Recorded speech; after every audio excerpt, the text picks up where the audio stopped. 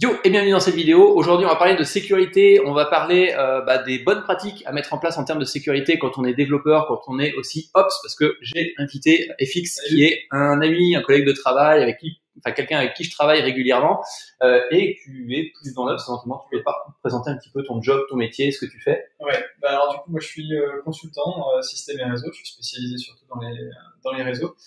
Euh, j'ai été formateur et avant j'étais ingénieur système réseau et télécommunications.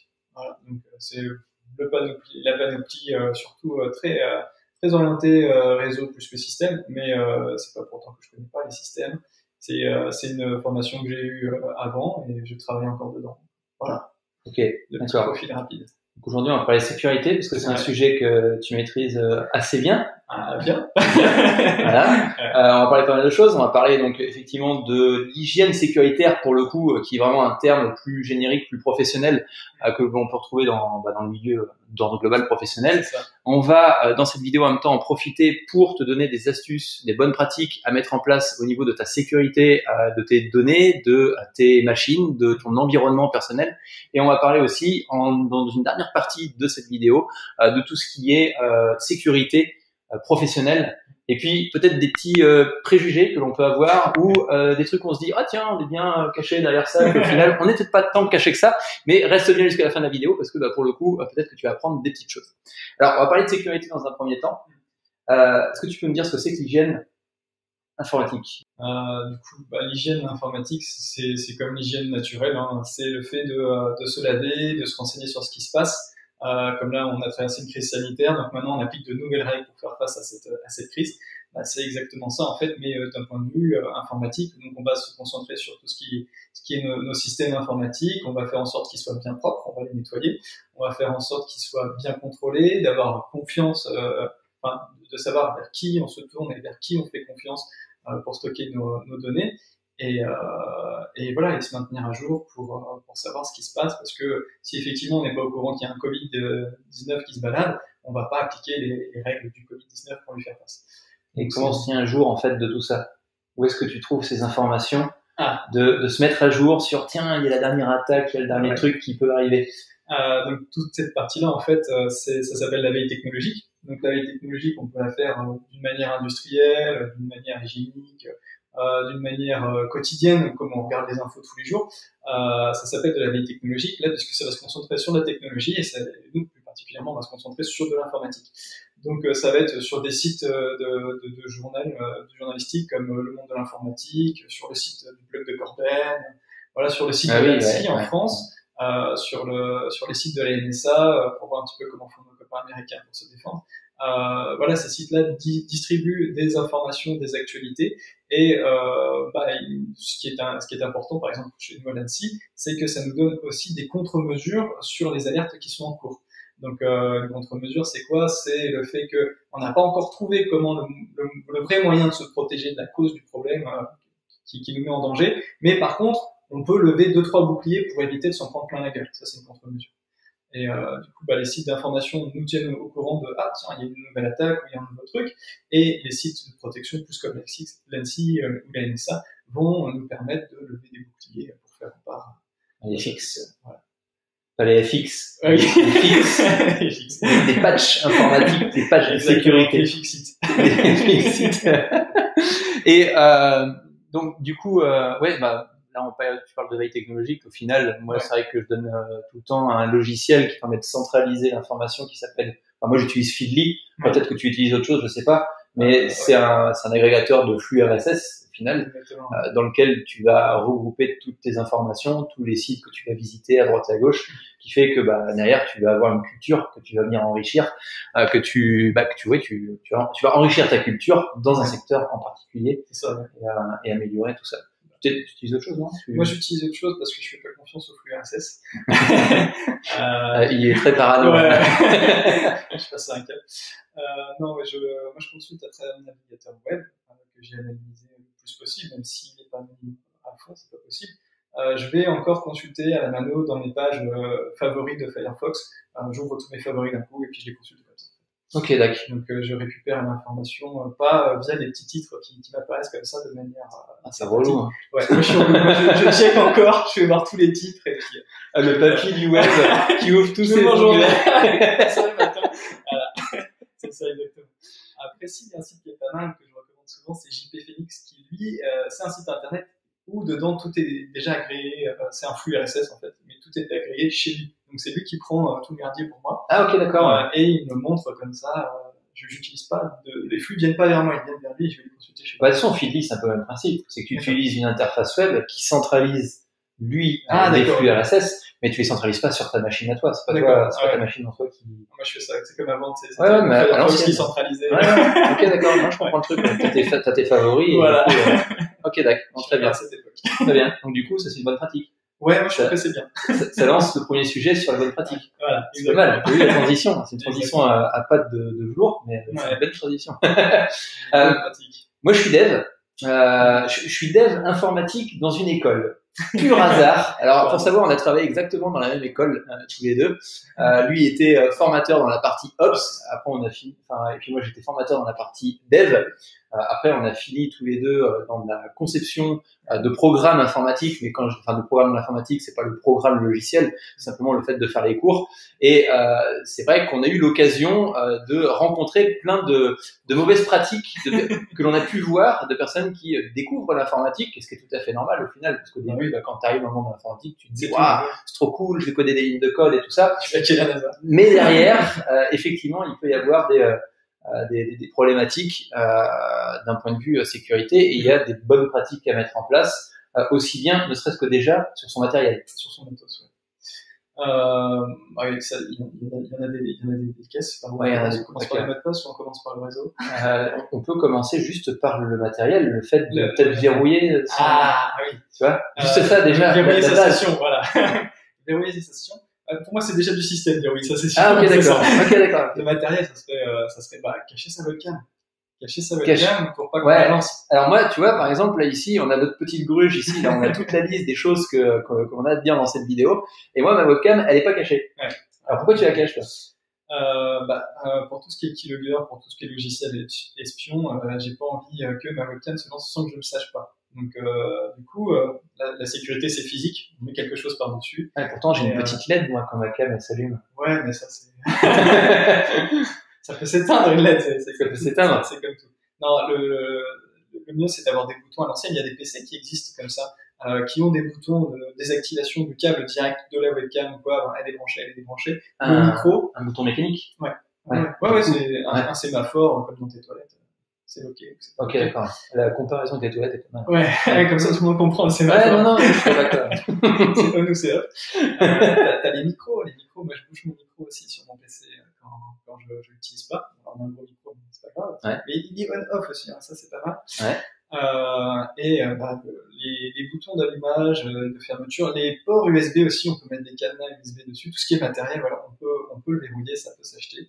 Euh, et ça permet d'avoir une, une, une sécurité physique en plus. Alors là, par contre, tu parles d'une machine euh, qui a un accès extrêmement sécurisé derrière, c'est-à-dire que tu vas, accéder, tu vas accéder à des serveurs, tu vas accéder à plein de choses. Bah. Mais euh, le, le dev de base, Le dev de base, qui est il sur devrait ton faire ça, le dev PC, de et du coup, tu sais, je l'amène, je prends mon PC, je tapote dessus, hop, j'envoie un email, hop, je me casse pour aller, je sais pas, fumer une clope ou, euh, ou un truc. Le mec laisse sa session. Et là, le gars, il Le, le fameux, le fameux. le fameux. Donc, euh, oui, alors rapidement, on peut faire plein de choses avec une session qui est ouverte. Oui. Euh, bah, comme par exemple aller sur des sites coquins. Euh, mais on peut aller beaucoup plus loin et on peut faire ça beaucoup plus rapidement. Ce qui, là où je pense, je, je suis allé le plus loin possible, c'est de développer un script qui euh, changeait le fond d'écran, changeait toutes les configurations du navigateur. Donc, je tapais sur Firefox, j'aime bien taper sur Firefox. Euh, et euh, le pire du pire du pire du pire, c'est de créer un script d'extinction Mm. silence au démarrage. Ça, c'est chiant. Ça, c'est chiant aussi. Alors, pour juste pour la petite histoire, pour que tu comprennes un petit peu le contexte de pourquoi est-ce qu'on parle de tout ça, euh, c'est tout simplement que euh, t'as des voilà quand tu quand, quand tu as un ordinateur avec toi, euh, dedans c'est à peu près euh, bah, il y a les photos de ta famille, il y a les photos euh, des vacances, euh, il y a les emails que tu as envoyés, il y a les différents comptes réseaux sociaux sur lesquels on peut accéder. T'as aussi bancaire. De quoi? Les systèmes bancaires. Les systèmes bancaires, euh, et puis aussi par exemple Amazon. Donc tout ça, en fin de compte, est dans ta machine.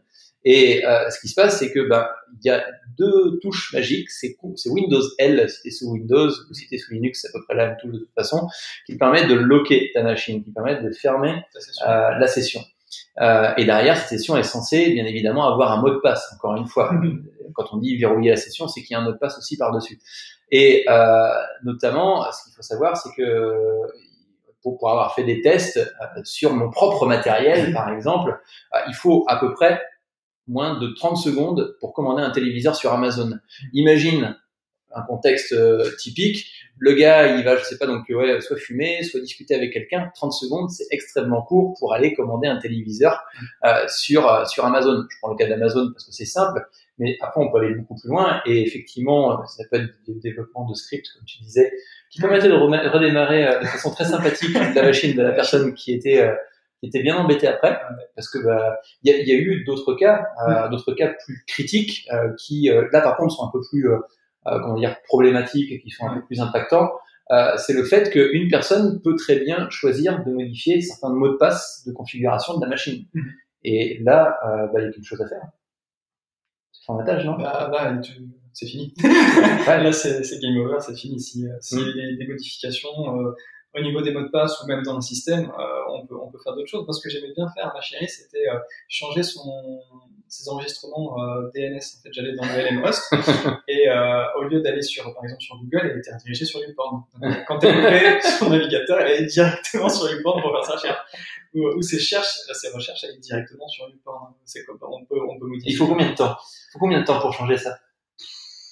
Bah, quand on quand t'es habitué quand, quand t'es habitué quand t'es ouais, habitué. 10 secondes 10 secondes 10 secondes. ouais, 10 secondes parce que les recherches maintenant même sur les navigateurs euh, Chrome etc on peut encore changer les types de recherche les, les moteurs de recherche on peut aller directement sur Bing sur Google etc ouais. et tu sais c'est dans la barre directement euh, oui en plus. ouais. Donc euh, ça tu peux directement rediriger vers YouPorn hein. c'est un coup de paramètre il y a plein de choses rigolotes encore qui est possible. Ah ouais, là, là c'est drôle. Ouais. Là c'est drôle. Oui, Après c'est l'idée. Enfin, dans, dans, enfin, nous on, on, faisait clairement pour rigoler, pour, pour rigoler à certaines personnes pour leur faire comprendre que voilà. effectivement derrière il peut quand même y avoir des enjeux un peu plus importants.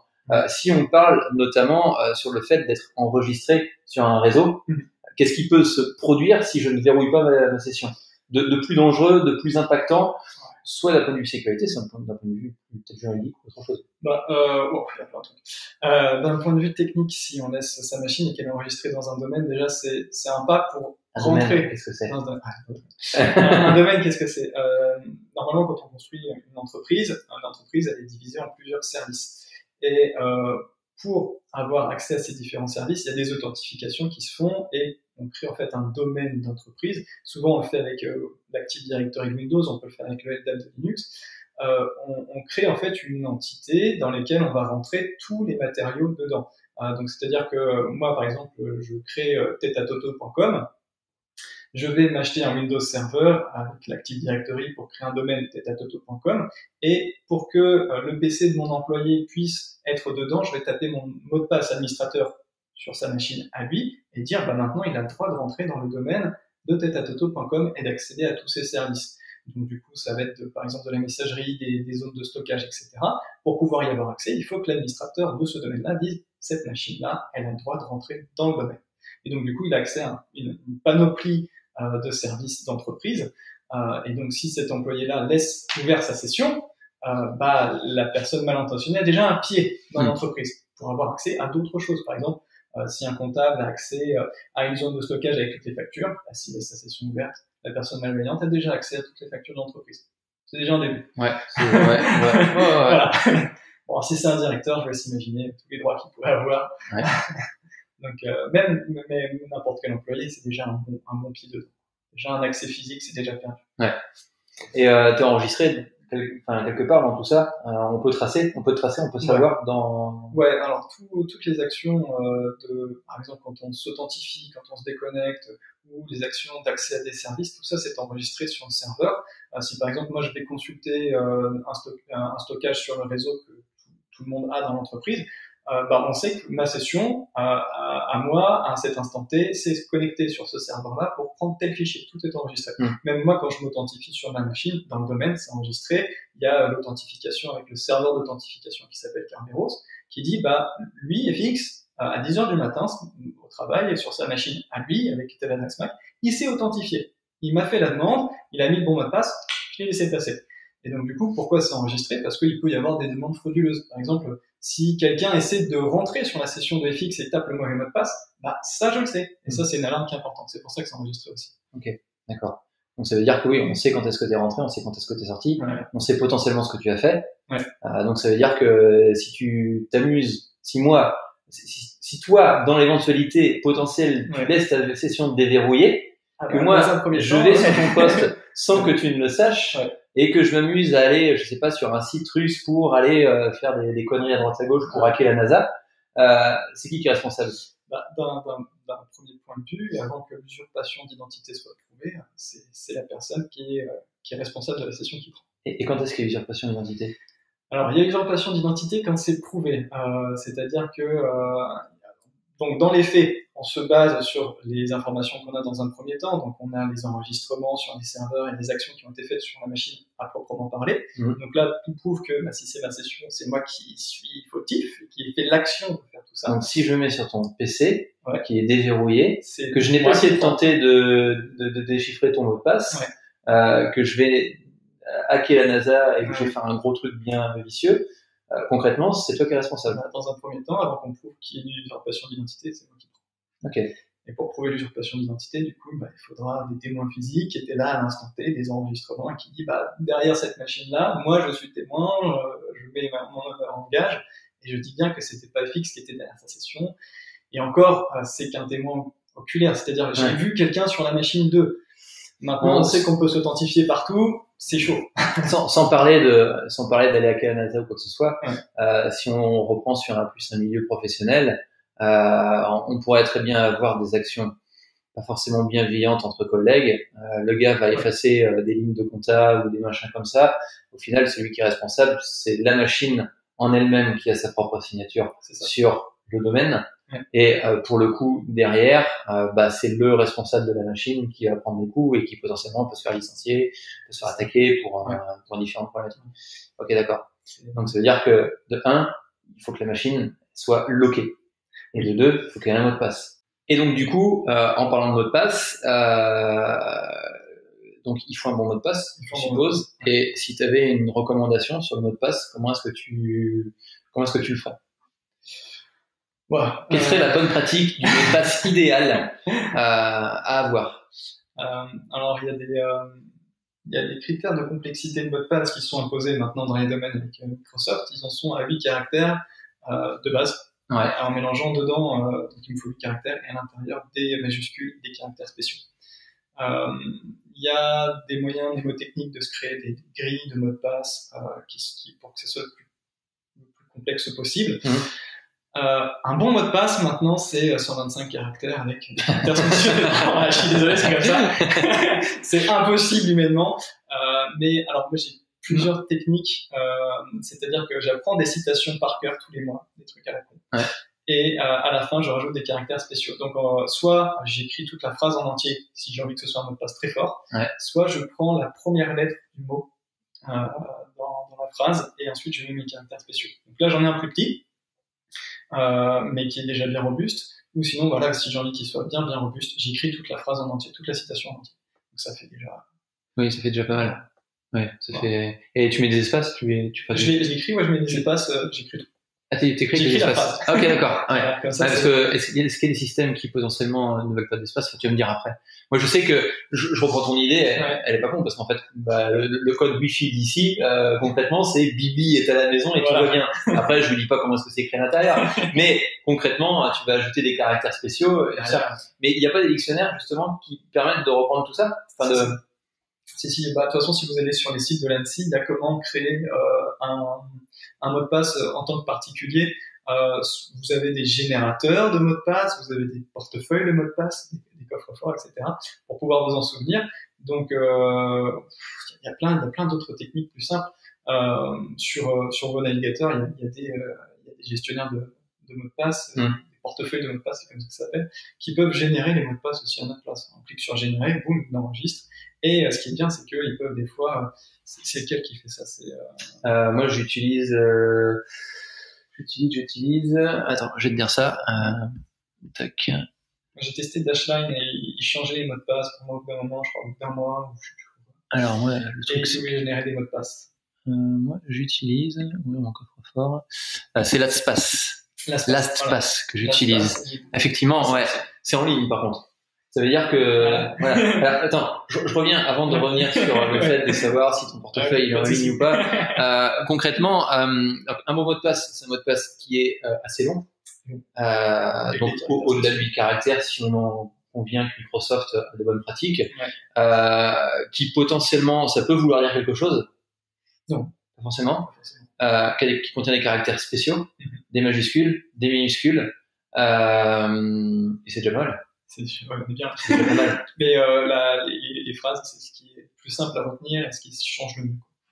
Et donc du coup, euh, ok, d'accord. Donc moi j'ai mon mot de passe, c'est nickel. Donc je mets le mot de passe partout, Non, pas sur euh, mon navigateur, Ah. sur euh, sur mon compte Google, sur mon compte euh, sur mon compte bancaire et tout ça. Non, non, non, pas même. Euh, en fait, il y a. Alors, faut voir maintenant son, son, son système dans, dans son ensemble et dans, de tout ce qu'on utilise dans le quotidien. Effectivement, on a de plus en plus de mots de passe sur notre Bah oui. Amazon, Netflix, euh, Mm. Gmail, euh, Facebook, euh, voilà, tous les services qu'on a. On a besoin d'avoir des mots de passe et il faut qu'ils soient différents à chaque fois. Euh, pourquoi il faut qu'ils soient différents à chaque fois? Parce que on est, euh, on est exposé potentiellement, plus on a de mots de passe, plus on a de services, plus on est exposé à des attaques ou que ce service se soit fait attaquer. Euh, par exemple, euh, bah, les bases de données de, de, de sites coquins sont, sont souvent attaquées et des fois Oui, oui, tombent, oui, malheureusement. On ne peut pas, on peut pas être euh, blindé. Euh, et euh, ces bases de données, une fois qu'elles sont euh, attaquées, elles sont vendues derrière euh, aux plus offrants qui veulent les acheter, et ça permet de faire des top 10 des, euh, des mots de passe les plus pourris. C'est comme ça qu'on trouve les top 10 des, des mots de passe les plus pourris, c'est souvent qu'on qu'on achète, euh, les gens achètent euh, de façon malveillante, légale ou illégale, non, non, les, les bases de données qui ont été Ah bah créées. après oui, euh, ouais. Voilà. Et, euh, et ils en sortent les fameux top 10 de, des, des mots de passe. Ah oui, oui, oui. Dans les dans les mots de passe, il y a football, Ouais. il y a password, il y a password à l'envers, 1, 2, il y a- 3, 4, 5, 6, il y a Azerty, 0, 0, voilà. QWERTY. Euh, Qu'est-ce qu'il y avait encore?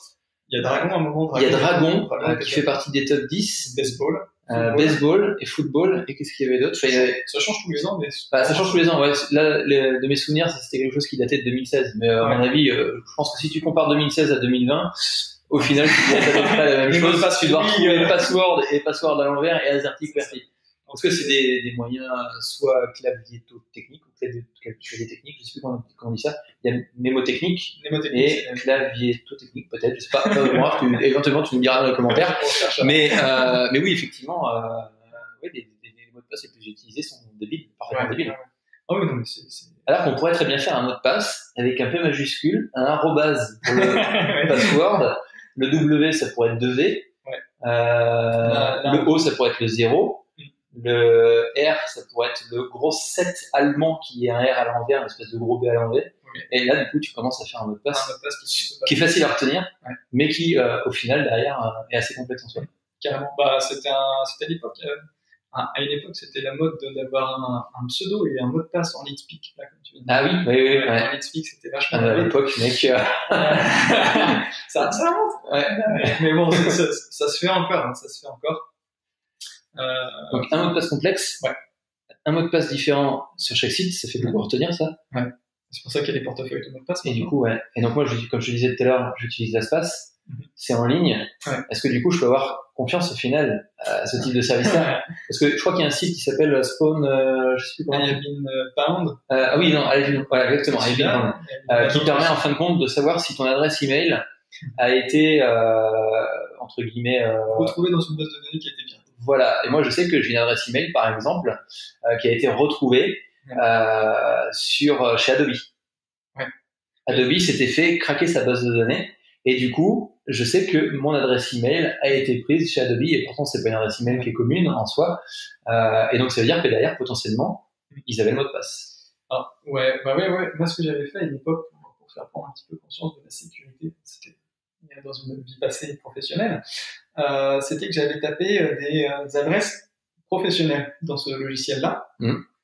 pour voir si elles avaient été hackées et pour voir où est-ce qu'elles avaient été enregistrées surtout, pour faire ah comprendre que bah, il faut séparer vie privée et vie professionnelle. Et j'ai retrouvé pas mal d'adresses professionnelles qui avaient euh, des comptes coquins, euh, qui étaient enregistrés sur des comptes coquins, euh, ou euh, par exemple sur Badou, etc. Souvent à, à, l'époque quand les sites de, de rencontres n'étaient pas très populaires, je me non, moi je, je vais pas sur le site de, de, de, rencontres. En fait, j'y vais tous les jours. Voilà. Ce que je faisais, c'était quand mon ami disait ça ou quand cette personne-là disait ça, que je connaissais son adresse mail, j'allais tout de suite sur une page et je tapais son adresse mail pour voir s'il était tombé sous Badou, parce qu'à un moment Badou avait été attaqué. Et euh, voilà, on avait la totalité de la base de données de Badoo qui, était, qui, était, qui était au grand jour. Et souvent, je retrouvais la, personne en disant Ah ouais, mais pourtant, il y a ton adresse qui est enregistrée. Tu veux dire que c'est quelqu'un d'autre qui t'a enregistré? Ce qui, ce qui est possible, hein, on peut toujours. Non, c'est la femme qui a fait voilà, Donc voilà. Et, euh, et, du coup, voilà, je faisais prendre conscience euh, dans, un milieu professionnel que bah, ton adresse pro doit rester pro et bah, tu oui, la faire sortir. Euh, mais ce qui est, bah, ce qui est dérangeant, c'est que voilà, on, toujours mettre n'importe quelle adresse mail dans n'importe quelle base de données aussi, mm. c'est pas forcément de sa faute. Moi, si quelqu'un connaît mon adresse mail, il peut tout à fait me faire un compte sur une pente s'il a envie. Euh, oui, oui, bien sûr. Ça sera pas moi qui, qui, qui me met dedans, mais bon, voilà, c'est pour, ça, ça fait prendre conscience si le mec l'avait fait. Donc ça veut dire que oui, effectivement, quand tu rentres ton adresse mail quelque part, elle, peut être, euh, euh elle, peut être récupérée par une personne qui est spécialisée dans l'extraction de données dans les bases de données quand c'est pas sécurisé. Euh, maintenant, ça veut dire que moi, si demain mes mots de passe je choisis d'avoir un mot de passe absolument partout. Mhm. Euh, perso, j'utilise l'espace pour pouvoir justement stocker mes différents mots de passe parce qu'effectivement j'ai un mot de passe sur chacun de mes comptes, que ce soit Google, que ce soit euh, Amazon ou euh, d'autres services. Euh, ça veut dire que ce type de système-là peut se faire hacker aussi bien que. Ouais, ouais, Bah, euh, voilà, après, c'est ça le souci, c'est quand on met sa confiance dans un portefeuille de mots de passe, le logiciel peut potentiellement vous dire, bah, je peux exporter toute ta base de données de mots de passe euh, et de compte. Euh, je peux la synchroniser sur ton téléphone portable, sur ton Mac. ah oui. Euh, et ça, ça veut dire que la personne, enfin, le mec qui offre le service, bah, a une base de données chez lui qui est chiffrée, tu sais, pour te mettre en confiance quand même. et il a bah, accès à tous tes services parce que c'est lui qui connaît tes mots de passe, etc. Et il va les diffuser sur et les devices. il a le mot de passe en clair. Il a. Il clair. C'est obligé. Euh, donc une bonne pratique, euh, si tu développes des applications et notamment si tu développes des applications où tu as un espace d'authentification, login, mot de passe, donc potentiellement ça peut être une adresse email, un mot de passe. Euh, bien souvent, on est tenté quand on débute euh, le développement informatique d'enregistrer le mot de passe en clair dans une colonne de la base de données. Et donc le mot de passe, il est vraiment clair. Ça veut dire que si demain il y a quelqu'un qui arrive à pirater ton serveur, ce qui peut arriver très souvent, plus souvent que ce que l'on peut imaginer d'ailleurs aussi, euh, eh bien cette personne-là a ton adresse email et en même temps le mot de passe, et tout du moins l'adresse email et le mot de passe de tous les utilisateurs qui seront enregistrés sur ton propre site. Donc ça veut dire que derrière, quand je donne mon mot de passe à l'AdSpace par exemple, euh, ça veut dire que je lui donne l'autorisation d'enregistrer dans sa base de données mon mot de passe en clair et un mot de passe qui va être probablement utilisé sur Amazon, sur un système de banque, sur euh, un système X ou Y. Bah, faut, faut prier. Euh, j'espère que, enfin, je pense maintenant que l'espace euh, enregistre de façon chiffrée. Oui, c'est oui, chiffre raisonné, mais il doit y avoir un système de déchiffrement derrière. Voilà, c'est toujours un administrateur de chez l'espace peut potentiellement avoir accès de toute façon. Péter un câble. péter un câble et, et commencer à dire bon tiens, si je regarder un petit peu les aussi, je faisais un top 10 des mots de passe les plus pourris. Exactement. et j'ai une belle base de données là. Si je les vendais tout simplement. Voilà. On me faire des thunes à l'occasion. ouais, je pense que ça vaudrait plus. ça vaudrait plus. Donc euh, voilà, c'est une question de, euh, c'est une question de, de, de, confiance. La sécurité, c'est une question de confiance. Il faut savoir en qui on peut mettre euh, sa confiance, euh, dans quelle personne, dans quel service. Mm. Et euh, c'est pour ça que moi, je préfère utiliser des portefeuilles de mots de passe qui n'ont pas de connexion ou qui me demande est-ce que tu veux que je synchronise tes mots de passe mm. euh, c'est vachement plus pratique. À ce moment-là, euh, voilà, je veux avoir le choix de dire bah non, synchronise pas parce que j'ai pas envie que tu les envoies ailleurs. Je veux que ça reste sur cette machine-là. Et euh, souvent, euh, les, les, logiciels qui te demandent s'ils veulent, enfin si tu veux bien accepter de, de synchroniser, de l'autre côté, tu as normalement dans les paramètres une fonctionnalité qui te permet d'exporter toi-même tes, euh, tes mots de passe vers une autre machine. C'est toi qui fais l'export. Ok, d'accord. Et, et, donc voilà, moi je préfère toujours que ce soit. Tu utilises quoi du coup comme logiciel? Alors moi j'ai euh, Dashline euh, que j'utilise plus parce que bon, je fais pas confiance, mais je, je préférais Dashline quand je faisais mes tests parce que je pouvais faire mon export moi-même. Sinon, euh, ce que je fais, c'est que bah, je crée ma propre, mon propre coffre-fort Alors, dans le, dans le monde Ops, on a un truc qui s'appelle qui passe. Il y a un peu que dans le monde Ops. Voilà. Pas si vous, dans votre monde sale, vous Ah. partagez votre mot de passe sur Slack. Euh, voilà.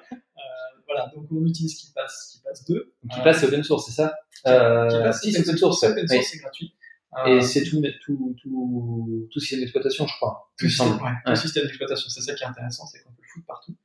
Euh, donc voilà, qui passe, euh, j'utilise euh, perso. Et euh, j'utilise aussi VeraCrypt pour me faire mes propres coffres-forts. En fait. Ok. Et, euh, VeraCrypt, c'est un logiciel qui à un moment a été poussé par l'ANSI pour, euh, pour créer des coffres-forts. Donc dans les cas de mobilité, hein, euh, les cas de mobilité, c'est euh, quand vous utilisez votre téléphone portable, quand vous utilisez votre votre PC portable, ou tout, tout objet portatif. Si vous avez des données qui sont sensibles et que vous voulez les, cacher ou les, les chiffrer, vous pouvez créer des coffres-forts avec ce logiciel qui s'appelle VeraCrypt. Et euh, du coup, euh, à l'intérieur de cette zone de, stockage que vous avez créé, ça, c'est un coffre-fort et vous mettez tout ce que vous voulez à l'intérieur. Et pour pouvoir avoir accès à ça, il faut le mot de passe. Ok. Et, euh, et donc euh, là, voilà, c'est chiffré. Euh, Donc ça veut dire que si demain tu te fais euh, exploser ta machine, tu perds tous tes mots de passe. Tant pis. parce Alors que si tu utilises un service comme Voilà. euh, je, tu peux les récupérer. je, je vais protéger un petit peu LastPass quand même, Voilà. parce que effectivement, tu as peut-être une faille potentielle à avoir là-dessus, Ouais. mais je peux quand même récupérer mes mots de passe n'importe où dans le monde. c'est ça. Alors que si toi demain tu te fais voler ta machine, Je- le gars te vole, mais il vole ta machine, mais est-ce qu'il, comment, comment, enfin, comment il fait pour pas voler tes mots de passe au final derrière? Ah, voilà. Parce que disons que tu as, un, outil effectivement dans lequel tu vas peut-être générer tous tes mots de passe, Mhm. euh, dans lequel tu vas stocker tous tes mots de passe, mais comment est-ce que tu protèges effectivement ça? Parce que moi derrière, je prends potentiellement un fichier en tant que développeur, je bidouille, Voilà, tu vas j'essaye de voir. Alors, euh, bah déjà, le, le logiciel euh, VeraCrypt ou d'autres d'autres logiciels de coffre-fort vous permettent notamment de choisir votre algorithme et la puissance de l'algorithme, le nombre de bits que vous allez mettre derrière, et quel type de chiffrement vous allez utiliser, enfin, chiffrement ou algorithme vous allez utiliser, à quelle puissance. Et euh, bon, quand on est sur une petite base d'un AES euh, en euh, 1024 bits, il faut déjà avoir une belle capacité de calcul. euh, Alors AES, on est bien d'accord que c'est le type de chiffrement. Ouais, c'est le type de chiffrement, pardon. Euh, faut avoir une bonne puissance de calcul pour, pour le déverrouiller. Mais après, c'est vrai, si je me fais piquer mon truc, Mm. quand on a cette puissance-là, euh, normalement, en trois jours, on fait sauter la clé. Ah oui, ok d'accord. Ouais, quand même trois jours. Quoi. Ouais, faut quand même trois Faut jours. que le gars il veuille vraiment. Euh... Faut avoir envie. Ouais, non, je Donc, comprends. euh, faut, faut avoir envie, il faut avoir la technique. Donc, il y a des logiciels, effectivement, pour, pour casser euh, ça rapidement. Voilà, mais trois jours, c'est une petite base. Ouais, Une petite base. pas mal. Ouais. Donc, euh, ça me laisse le temps, trois jours. Euh, si je sais que je me suis fait piquer mon truc, moi, ça me laisse le temps de, de changer un petit peu mes mots de passe. En tout cas, ce qui, Oui, pour moi, est oui, le plus oui, important. effectivement. Oui, oui, tout à fait. Voilà. Oui, Donc, oui, les, l'idée, euh, les, les, les comptes à Amazon et tout comme ça. Voilà. Mais c'est Et- c'est bien que tu parles de ça parce que, comme, comme on dit euh, depuis le début, euh, comme je dis depuis le début de la sécurité, c'est une question de confiance. Mm. Euh, mais quand on est en danger, c'est juste une question de combien j'ai de remparts levés pour pouvoir me protéger. Mm. C'est- ça l'idée aussi. Tu vois, je sais, je sais que si on me pique là, mon, comme tu dis, mon, mon PC, que le mec a accès physique à mon PC, il va avoir accès à toutes mes données. Euh, bah, je sais que j'ai assez de remparts pour me barrer, Oui, oui, oui. pour changer ouais. les trucs.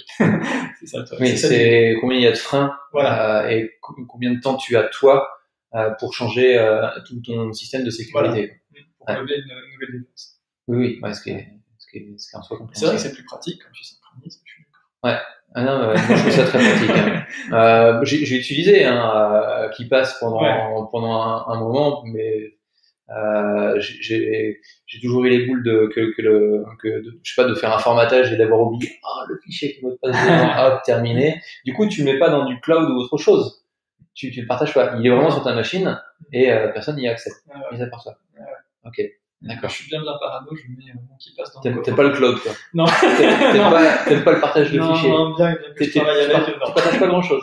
Non, je partage rien. D'ailleurs, en parlant de partage de fichiers, euh, là-dessus, euh, notamment quand tu, euh, tu sais, il y, a il y a un système dans les McDonald's, je sais pas si tu peux en parler, mais ça peut être Ah oui, intéressant. oui, oui, si, Explique un petit peu comment ça fonctionne. Alors, euh. Le contexte. Alors, je suis, voilà, j'ai mon petit téléphone, Voilà. je suis au McDo, toc, je suis en train de manger mon petit T'es un Mac, entrepreneur dynamique. un entrepreneur dynamique à laquelle je stop. Euh, et donc euh, et donc derrière j'ai j'ai un certain nombre de fichiers les photos de ma maman les photos de machin du chat et tout ça Et euh, t'es sur un réseau public. et je suis mon- je suis sur mon réseau public parce que sur mon ticket de caisse du McDo euh, j'ai le mot de passe de de, de la Wi-Fi ou du Wi-Fi Alors, euh, c'est Wireless Fidelity. Normalement, c'est de la Wi-Fi. Normalement, c'est la Wi-Fi. La Wi-Fi. Pourtant, on dit le bord, on dit le Wi-Fi, bordel. On dit le Wi-Fi, mais normalement, ouais, C'est, c'est la connexion ouais, Wi-Fi. la connexion sans fil. Ok, d'accord. Enfin bref, c'est un autre sujet. Euh, éventuellement, je te laisserai chercher sur Internet euh, si on dit la Wi-Fi ou le Wi-Fi. Euh, mais euh, mais euh, ce que je veux dire par là, c'est que oui, effectivement, euh, je suis sur le réseau de euh, du, Du du McDo. McDo.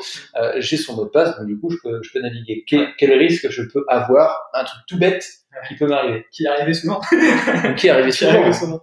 Euh, alors, l'idée, c'est que quand tu es dans un réseau, euh, bon, dit public, c'est-à-dire que tu, n'importe qui peut y avoir accès euh, parce que c'est du domaine public. Par exemple, euh, votre ville peut avoir un Wi-Fi, euh, oui, je sais pas, le Wi-Fi Paris, un musée peut donner le Wi-Fi gratuitement, McDo peut donner le Wi-Fi gratuitement, et donc on s'y retrouve et euh, il ne doit pas y avoir de notion de contrôle trop euh, poussée puisque c'est du public. On peut pas aller créer un domaine et dire bon toi t'as pas le droit de faire ça, toi t'as pas le droit de faire ça, toi tu peux faire que ça. Là c'est public, on a tous le droit d'avoir accès à la navigation et c'est offert, c'est offert à tout le monde. Donc en fait on se retrouve, euh, on se retrouve parmi tout le monde. Et le danger qu'il y a à l'intérieur de ça, c'est que euh, bah, souvent quand on veut partager des informations, on crée euh, des partages euh, sur nos sur nos sur nos, nos, matériaux de, de mobilité, hein, que ce soit PC portable ou téléphone portable, on crée des partages à tout le monde. Oui, tu es dans une soirée, Ça fais, tiens, attends, je te partage euh, le dernier, euh, je sais pas, la dernière install de, de telle application euh, parce que je viens de développer. Je suis développeur par exemple et je veux te partager un APK. Donc je partage mon dossier. Le gars peut récupérer facilement euh, l'APK de mon application super secrète du Facebook, révolutionnaire. Voilà, ça. Et donc là, je l'amène chez McDo. Et bah, euh, le partage à tout le monde est encore existant. Donc ça veut dire que n'importe qui peut toper Voilà. mon APK, peut toper euh, la photo de la grand-mère. Ou-. Ok. Exactement. Et, euh, et en fait, ce qui est bien, c'est que bon, Windows 10 maintenant a levé quelques remparts. On peut pas euh, faire de la découverte réseau comme ça. On partage pas tout. On peut... Le ping notamment a été a été enlevé. Ah oui. Euh, mais euh, quand on fait un partage à tout le monde, euh, que ce soit sur n'importe quel système d'exploitation, tout le monde, c'est tout le monde. c'est ça qu'il faut se dire. Quand je le dis à tout le monde, c'est tout le monde bain. Voilà. C'est c'est l'histoire du domaine. Voilà. Tu es dans le domaine, tout le monde se trouve dans le même domaine, Ouais. et donc du coup, bah, quand tu partages euh, ton, ton, ton, ton logiciel ou ton truc comme ça, bah, pour le coup, tout le monde a accès à c'est une grande famille. Quoi. Ouais, mais même ceux qui sont en dehors du domaine aussi. Tout le monde, c'est aussi en dehors du domaine. Ah mais non, ah, et pourtant euh, il y a un mot de passe avec le wifi du McDo ou un truc comme ça. Bah oui, mais tout le monde si- peut pas y accéder. Oui, mais si- oui, c'est certes, mais il faut avoir ce mot de passe là. Ah oui, d'accord, oui, à partir du moment qu'il a de passe, tout le monde peut y Alors, accéder. Il y, a, il y a des différences entre le droit sur le partage, c'est Ouais. tout le monde. Ah, ok. Tout le monde, c'est tout le monde. D'accord. Et il y a l'accès au réseau, qui est un, une autre authentification. C'est ceux qui sont dans le McDo. Mais euh, potentiellement, tout le monde, c'est... Oui, quand le partage est que- fait, c'est Imaginons que le Wi-Fi du, du McDo soit piraté par un, un Chinois. Ce Chinois-là, il fait partie de tout le monde. Ok, d'accord. Voilà, Ouais. donc euh, sur le partage, Sur le partage, c'est y avoir- voilà. Exactement. Oui, il y a une différence entre la connexion sur le réseau Ouais. et euh, le partage absolument à tout le monde. c'est ça exactement. Ok, d'accord. Euh, du coup, je reviens sur un sujet qu'on a évoqué tout à l'heure, euh, notamment sur le fait que j'imagine que sur le McDo, on est logué Mhm. aussi, c'est-à-dire que un téléphone est enregistré, il a une adresse physique, une adresse physique c'est l'adresse MAC en règle Ouais, générale, Euh, donc on sait quand est-ce qu'on s'est connecté, on sait quand est-ce qu'on est parti du McDo, et entre les deux, euh, on, on- comment dire, le- le- potentiellement l'administrateur qui gère tout ça Mhm. a la capacité de savoir ce qu'on a fait. Oui. Ça veut dire que potentiellement, il a la capacité de dire tel téléphone a accédé à tel site de la NASA pour le hacker. Oui. Mais si je mets derrière un navigateur privé, Ah, ouais. Alors, il y a- il y a- parce que du coup, Il y a si je navigateur privé, d'accord, le gros, gros boulet de merde, c'est pas grave. Si je vais, non mais euh, ça, ça, me fait penser à cette question-là, en fin de compte, là-dessus, euh, c'est que effectivement, on pourrait bien, très bien se dire, bah, sur le réseau, je vais naviguer en privé. Est-ce que je suis plus protégé euh, Est-ce que je suis vraiment privé en fin de compte? Est-ce que toutes mes informations euh, sont privées? Est-ce que ça cache Mm. euh, toute ma navigation? Est-ce que euh, le, le, si on prend le cas du McDo, est-ce que derrière il est capable de savoir que j'ai été sur telle ou telle URL, etc., etc. Alors, euh, ouais, il y a- il y, a plein de choses, plein, plein de choses dans ce genre de connexion-là. Euh, et dans ces types de VPN, euh, dans les types de VPN. Euh, déjà, euh, pour reprendre sur le McDo, euh, On fait de la pub pour le McDo. Hein. Ah, on, va, on va changer, on va passer sur Quick maintenant. Alors déjà, on est dans notre week. On est à la gare à SNCF. Allez, hop, pub. SNCF. C'est une vidéo sponsorisée par Quick, McDo et SNCF. D'ailleurs, dans de Thalès, il y a le wifi aussi, ça, c'était cool. Euh, et donc, on est à la gare et euh, je suis sur mon wifi public ou je suis dans un hôtel. Ça arrive aussi. Euh, je suis dans un réseau euh, public de l'hôtel qui me donne Internet. Euh, la personne qui est en charge de, de distribuer le service Internet doit enregistrer normalement de façon anonyme mmh. les, les logs, donc les journaux de connexion, etc. Et normalement, il ne doit pas aller plus loin, puisqu'il distribue, il doit contrôler que le service qu'il distribue. Ok. S'il va plus loin, il se fait taper sur les doigts. Euh, et bien entendu, il doit l'enregistrer d'une manière claire pendant un mois, ensuite non claire jusqu'à de 3 à 6 mois, voire plus loin en fonction de la législation, et ensuite les supprimer.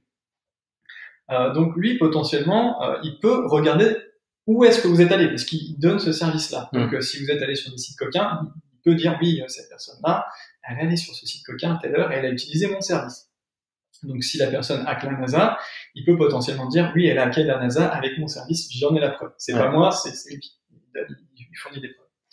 Euh, après, euh, si j'utilise un VPN pour hacker la NASA, j'achète n'importe quel type de VPN, euh, la, la, connexion, euh, lui, il peut savoir que vous avez utilisé un VPN. Parce que qu'est-ce qui se passe euh, C'est vous, vous utilisez son service pour mm. aller sur Internet, mais avant d'aller sur le service, enfin, sur le, site web final, vous passez par un VPN. Donc vous passez par quelqu'un d'autre chez qui vous êtes acheté un service qui lui va rendre anonyme cette collection-là en disant bon c'est plus lui, c'est moi qui le fais et euh, il va il va aller ailleurs. Ouais, vas-y. et, euh, et, ensuite bah voilà ça revient et puis euh, donc ce qui peut se passer. Attends, si, je résume, que, que je reformule ce que tu es en train de dire, je suis sur mon poste, mon PC, je me connecte à ce VPS, donc j'ai un log entre, un premier log entre les deux.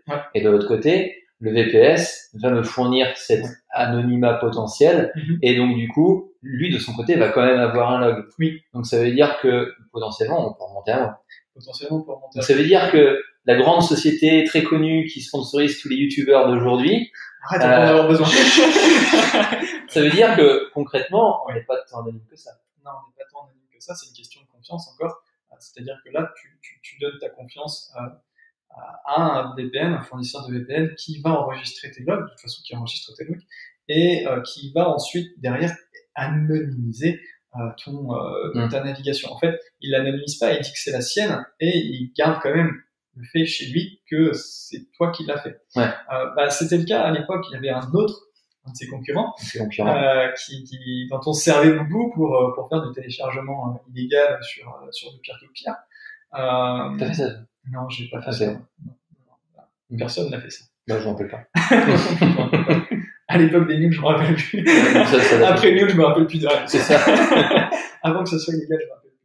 Euh, donc voilà, et euh, ce, ce concurrent-là, lui, euh, a, a, dû divulguer plusieurs de ses clients en indiquant que bah, c'était pas lui qui faisait du téléchargement illégal, mais que c'était ses clients. Et à ce moment-là, bon, bah, il est bien obligé de dire quel client a fait quelque chose, quel chose illégale. Hmm. Donc, un VPN, ça permet de, de, protéger sa connexion du regard, mais à partir du moment où on fait quand même quelque chose de, de pas bien ou d'illégal, bah, on est obligé de le dire. Ça, il faut, faut, en avoir conscience. Et euh, du coup, bah, ces, ces, ces entreprises-là divulguent euh, ce, que, ce qui se passe. Hmm.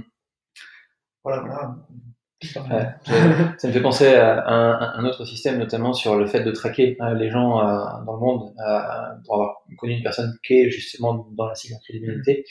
Euh, effectivement, tu parlais de log qui était effacé au bout de tant de jours en fonction de la législation. Et effectivement, il y avait aussi une problématique sur les sur les sur le fait de retrouver une personne qui a fait quelque chose d'illégal. le fait qu'un Français aille euh, prendre un VPS euh, en Russie euh, qui lui-même a une législation au niveau de la, de la, quantité des logs et tout le moins du temps qu'il a au niveau des logs et que par le biais de ce VPS-là, tu utilises un autre VPS qui soit en Chine, concrètement, il y a trois législations différentes. Déjà au niveau ne serait-ce que euh, de, de, de, la législation française, euh, le fait d'aller demander les logs en Russie, c'est compliqué. Et sachant que euh, bah, en Chine, les logs sont beaucoup plus courts, ou du moins ils mettent beaucoup plus longtemps. oui, ils s'en foutent complètement. ils mettent plus longtemps à donner les informations. Ça veut dire que des fois, c'est ça peut quand même rester extrêmement compliqué de traquer quelque chose. Ouais, euh, je suis pas en train de donner une astuce. Ah pour, non, pas du tout. Mais c'est un fait qui a existé pour les pour les sites en de téléchargement. Les, euh, les zones to peer, les, euh, je sais plus comment ça s'appelle, les Paradise, machin truc, zone, je sais pas quoi. Euh, il y en a plein, hein, les Torrent, etc. Ces, ces sites-là survivent sur sur des astuces comme, connues comme ça, où ils vont je sais pas moi, acheter un, un serveur qui est euh, qui est sur un, un, dirigeable ou sur un bateau en pleine mer avec une connexion 4G, euh, qui lui va euh, récupérer tous les trackers, ce qui va les donner sur d'autres VPN ailleurs partout dans le monde, justement pour voilà en foutre partout, foutre des caisses partout et bah, que ce soit le bordel partout et que avant que les services Intel, chinois, machin truc se disent ouais il commence à avoir du bif lui et puis en plus c'est illégal, il va falloir qu'on lui tape sur les doigts. Ouais. bah, avant que tout ça se mette en branle, le gars il a déjà amassé des millions et quand ils se font toper c'est cinq ans après mmh. avec leur villa et puis leur Lamborghini. Mais le fait est qu'ils finissent toujours par se faire toper. Ça, c'est, une question de temps. pour, pour, revenir sur le sujet de la, de la sécurité à proprement parler, euh, que ce soit un VPS euh, ou même une navigation privée comme euh, comme on peut proposer sur un navigateur, ouais. ça protège pas, ça ça ça cache pas plus que ça euh, au final. Parce que d'ailleurs, si tu prends, parce qu'il me semblerait logique, si on reprend cette notion de domaine, euh, même si tu navigues via par l'intermédiaire d'un navigateur d'une navigation privée, euh, derrière les URL sont quand même traquées par un gestionnaire ouais. de log. Ouais, ouais, ouais. ouais. Ok, d'accord. Les, les, connexions sont enregistrées, mm. on peut toujours les, les donner. Alors, qu'est-ce que ça apporte de plus une navigation privée euh, c'est pareil, c'est une, une, une, question de confiance. Euh, c'est, j'ai pas envie, par exemple, que euh, je sois toujours traqué par des super cookies ou des Google Analytics. Ouais, ça. Euh, personnellement, ouais, c'est, c'est ça, ça, me permet voilà de, de, foutre le bordel derrière moi ou de, de, de cacher des trucs sur ouais. moi-même pour pas que Google Analytics derrière me dise ah dis donc t'es allé sur le site de Nike euh, quand tu vas sur Facebook euh, oublie pas t'as regardé ces Nike là ouais, bien que tu les achètes. Mmh. Voilà. Ça, ça, un VPN, ça permet de voilà de jeter un petit peu la pub de côté. Mmh. Moi, c'est essentiellement ça. Hein. Ça, permet d'avoir quelque chose de plus anonyme quand on regarde. Quand, on navigue sur Internet, en fait, on, on développe ce qu'on appelle le fingerprint. Euh, donc c'est un ensemble d'informations qu'on peut récupérer à travers mon navigateur et à travers ma connexion totale. Euh, donc euh, si la taille de mon écran c'est du 780p ou du 80p, si j'utilise Firefox ou si j'utilise Internet Explorer, si je suis allé sur Facebook avant, voilà, tout cet ensemble-là définit un, une identité qu'on appelle le fingerprint. Mmh. Et le fingerprint, à la fin, il est complètement unique en son genre et on peut savoir qui fait quoi sur Internet. Et puis on peut aussi euh, en déduire des comportements, des, voilà. des euh, oui, bah, comme tu dis, euh, l'histoire de je vais voir telle telle grande marque de chaussures oui. encore une fois pour pas donner de, de marque. Non, c'est pas grave. Moi je m'en fiche. Oui, à l'époque. Euh, mais euh, mais euh, oui non l'idée oui effectivement tu peux après mettre en place des systèmes de comportementaux sur les différents sites et effectivement le tracking est, est très puissant aujourd'hui maintenant là-dessus. Voilà. Après, ça peut être, ou par exemple, avoir accès à un catalogue de services différents avec Netflix. Oui. Si par exemple, mmh. bah, je trouve pas ça cool que j'ai pas accès au catalogue espagnol ou italien, oui. alors que je paye Netflix, bah, je peux utiliser un VPN en disant, bah, ah oui. et, et toi en Italie, voilà. Mmh. Et, euh, et, ça, je sais pas si c'est illégal. Je pense que c'est légal encore. Je sais pas. Faut, faut, faut, je pense que c'est légal puisque de toute façon tu payes le service. À partir du moment où tu payes le service, que tu. Bah oui, je pense que oui, tu payes le service. Je sais pas. Je là pour le coup. Euh, Donc ça, ça pourrait. Pour, enfin, moi, moi, essentiellement, c'est pour la pub. Tu peux voyager. Euh... Mais euh, ouais, puis pour voyager. Voilà. Après, voilà, il y a la législation qui est, qui est en place euh, sur tous les différents pays, qui est différente. Il faut prendre ça en compte. Il y a des choses qui sont illégales dans d'autres pays, qui sont légales chez nous encore. Euh, voilà. Et euh, en France, il y a encore beaucoup de choses qui euh, sont en cours. Euh, la législation sur Internet euh, évolue tout le temps. Et euh, cette année, non, non, 2020, 2019-2020, ça, ça a beaucoup évolué. Mmh. par exemple, sur les, les interdictions de consultation de sites. Ah oui. Donc forcément, oui, tout ce qui est pédophile, etc., tout ce qui est à, à, à, appel à la violence, bon, ça c'est illégal. Mais il y a d'autres sites voilà, dont on dont on parle pas et qui sont euh, des, des, sites de, de, par exemple de musique, on peut parler de Pandora. Euh, mmh. Nous en France, on n'y a pas accès euh, et on se pose beaucoup la question de si on interdit l'accès à certains sites internet, est-ce qu'on retournait pas à la bonne époque de l'indexation des livres ouais. Est-ce que c'est illégal d'ouvrir un livre? Oui, c'est ça. Voilà, on, on, en est encore là aujourd'hui avec internet. Ouais, c'est un peu, c'est un peu ridicule. Un, un encore. Ok. Oui.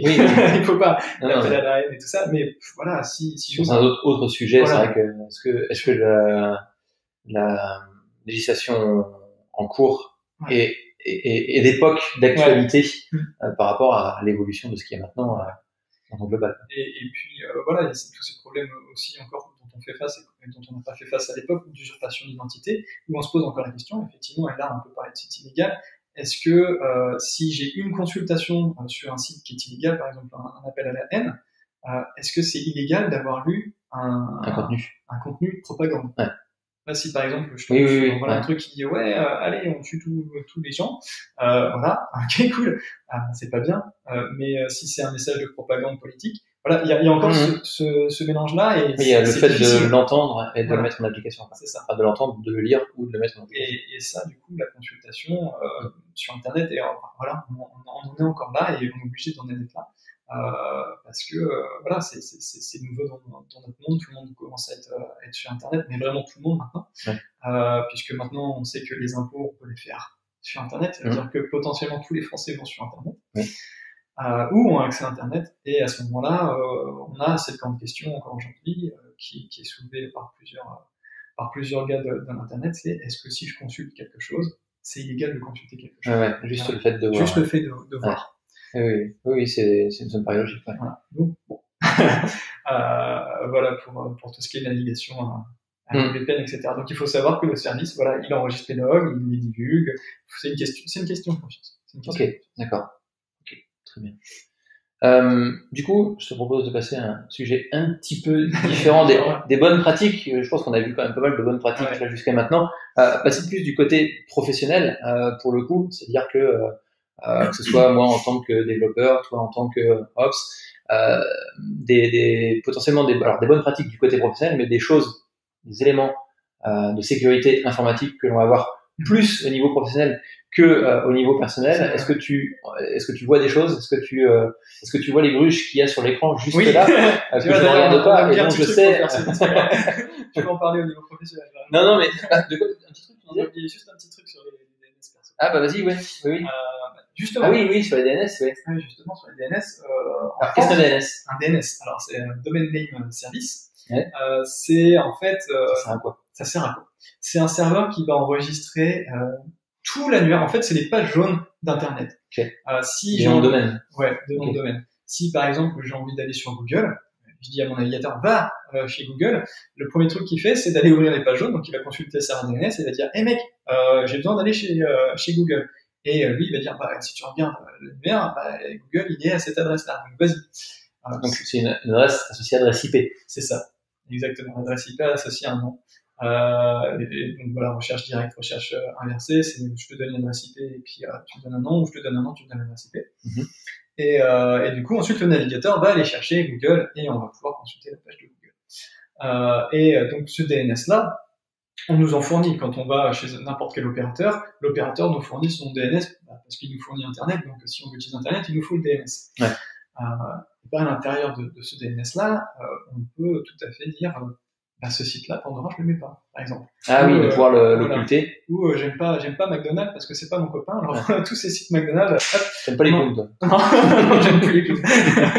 c'est illégal les clowns. Ça faisait trop peur. Il fait trop peur Ronald. Donc on arrête Ronald.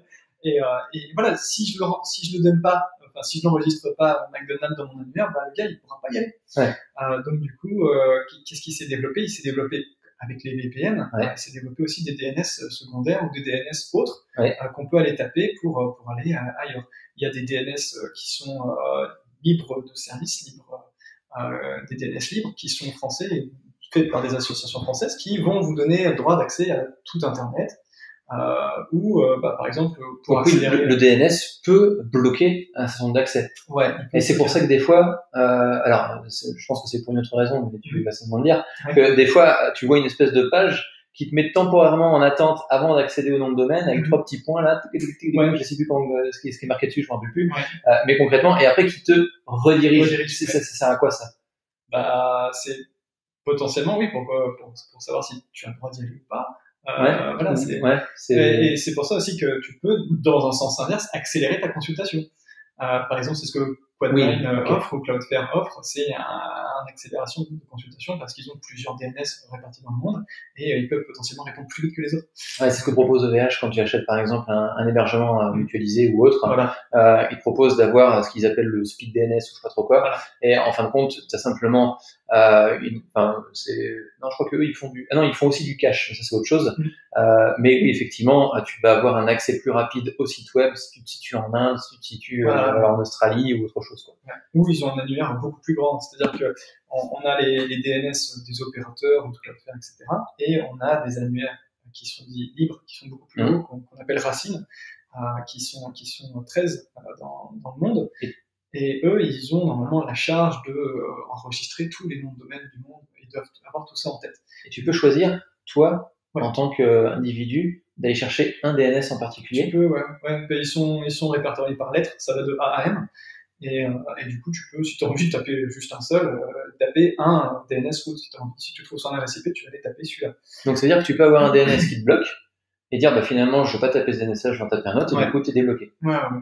Bah, par exemple, ce qu'on peut faire aussi en entreprise, c'est des détournements euh, du phishing. Ça, voilà. Et ça se fait aussi par DNS. C'est par exemple, euh, bah, au lieu d'aller sur Google, euh, je- j'enregistre l'adresse IP du porn derrière. Donc quand le mec va demander Google, il va tomber sur YouPorn. Ouais, voilà, c'est ça. Voilà. Donc ça se fait. jeu marrant que tu fais ta copine. Voilà, ça peut se faire directement sur le PC avec le host ou ça peut se faire avec le DNS derrière.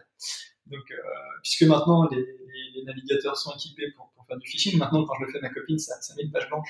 Et, euh, Ah, d'accord. je dis attention, on est en train de te faire avoir.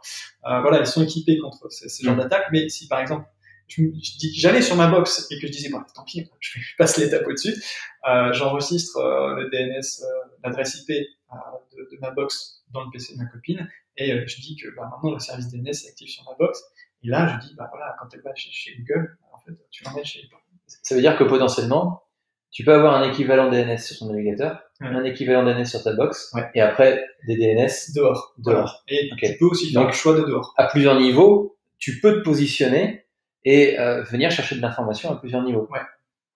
Bah, surtout, ouais, sur toutes les étapes du service, tu peux les taper. Ouais. Mm. Voilà. Ce qui m'amène en fin de compte à une autre question. Ouais. Euh, mais c'est vraiment pas fait exprès. Hein.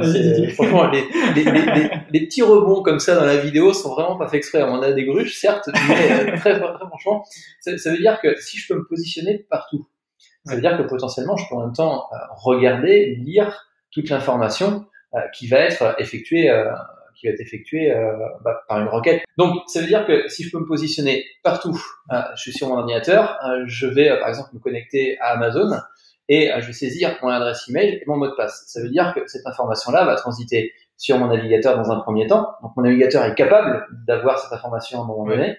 Euh, cette information va être transitée après vers ma box. Donc la box, c'est Orange Box, euh, Redbox, tous les machins box.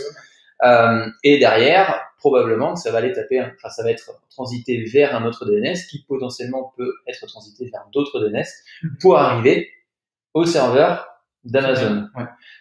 Ça veut dire que potentiellement, si je viens à intercepter cette information-là, Mhm. je peux récupérer l'adresse email et le mot de passe en clair de la personne. Euh, ouais. Alors, si la personne l'a mis en clair et que si le service est en clair, si c'est du HTTP.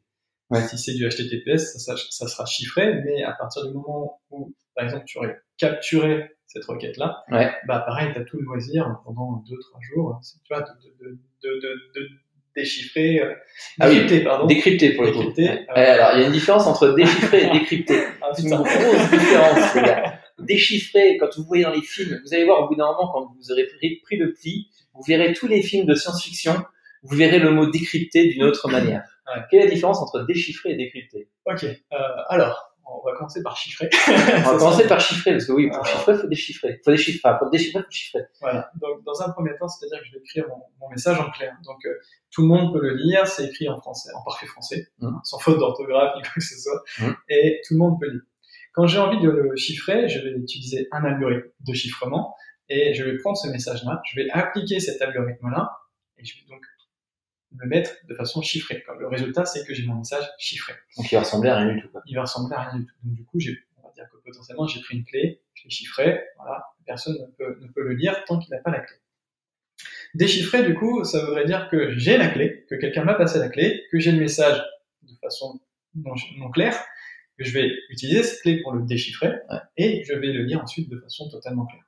Quand euh, je le décrypte, du coup, euh, c'est que je le récupère d'une manière licite ou non, Donc, tu récupères simplement le message transformé. le message transformé, le message chiffré. Ok. Euh, donc je le récupère et ah, je peux pas le lire, j'ai pas la clé. Donc du coup, ce que je vais faire, c'est que je vais m'arracher les yeux, je vais essayer de comprendre quel algorithme de chiffrement a été mis en place.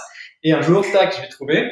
Et euh, là, j'aurais pas déchiffré, j'aurais décrypté le message. Décrypter, c'est du vrai piratage. Voilà, ouais, mais je me suis cassé le cul pour le faire. ok, d'accord.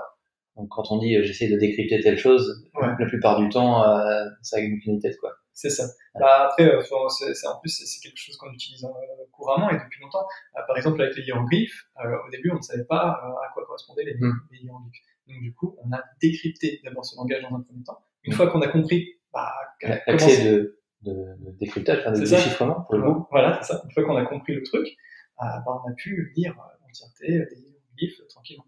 Et du coup, on peut, on peut faire ça avec des, une langue qu'on ne connaît pas, qui aurait des, des, des, lettres qui seraient différentes de la mm. nôtre. Si par exemple, demain, je me mets au mandarin et que je m'achète mm. pas le livre du mandarin, donc que je m'achète pas la clé de chiffrement. Je vais piquer les yeux pendant Voilà, je vais me piquer les yeux pendant 10 ans et au bout d'un moment, je vais dire, ah, tiens, ça, ça correspond à ça. Et là, c'est le début. Et là, j'aurais décrypté. Ok, d'accord. Donc, voilà. Donc, du coup, si on revient à notre sujet initial, voilà, une vidéo le message sur la sécurité, le message il passe en clair, donc euh, là à ce moment je peux le lire. Ouais. Euh, donc là on est par contre, alors oui il y a une autre notion que tu as évoquée rapidement, ouais. la notion de HTTP et de HTTPS. Et de HTTPS. Ouais, et, et, donc euh, alors le HTTP euh, au final c'est simplement un protocole de communication mm-hmm. euh, qui permet à un navigateur d'aller rechercher de l'information sur un serveur qu'on appelle généralement web. Ouais, le serveur web. Du coup, le HTTP c'est hypertexte. Et donc, euh, donc du coup, on peut avoir de l'hypertexte, HTTP, ou on peut avoir du HTTPS, de l'hypertexte secure, donc qui se reporte sur un, un, un, protocole de sécurité. Je vais pas le nommer parce que sinon je vais devoir parler. Ouais, juste pour dire comme ça, du coup, c'est le fameux euh, petit cadenas qu'on nous a rabâché pendant des années sur les informations, comme quoi tu es en train de payer, tu es sur un site sécurisé, il y a le petit cadenas, ça veut dire que tu peux avoir confiance. Oui, tu peux avoir ça. Ça veut dire qu'il y a un système de, de, certificat et euh, que, le message entre toi et le serveur final il est chiffré. Ok, donc ça veut dire que quand tu as le S, les informations que tu transmets sont cryptées, chiffrées, chiffrées sont chiffrées, euh, et donc euh, et, donc derrière personne ne peut lire tout ça. Ouais, voilà, c'est ça. Donc du coup, euh, si euh, je l'écris en clair, si je suis en HTTP et que quelqu'un regarde ce que je suis en train de faire sur le, flux de, de, ma conversation avec le, le serveur web final, euh, bah, il pourra voir ce qui s'est passé. Hmm. Euh, si euh, du coup j'ai utilisé l'HTTPS, il va capturer quelque chose qui est chiffré. Bon après, s'il est capturé, ça veut dire qu'il aura le temps de, de le déchiffrer plus tard, euh, de le décrypter pardon, de le décrypter plus tard euh, pour pouvoir lire ce que ce que tu avais envoyé. Mais c'est vrai, on peut attaquer du coup sur plusieurs endroits du flux. En fait, sur toute la longueur du flux, comme, comme tu l'as décrit au début, entre toi et le serveur final, sur tout ce long, sur tout ce, ce chemin-là, sur tout ce flux-là, je peux attaquer à différents endroits pour récupérer la requête que, que tu aurais faite. Ok. Et donc du coup, euh, bah, là on est plus dans le milieu professionnel et notamment si aujourd'hui en fait on doit faire un site, mm. il est largement préférable, même si c'est pas un site extrêmement euh, sécurisé, enfin sécurisé où il y a beaucoup d'informations personnelles qui transitent, euh, il y a tout intérêt de mettre euh, un certificat SSL, oui. donc notamment ce, le fait d'avoir le HTTPS plutôt que le HTTP.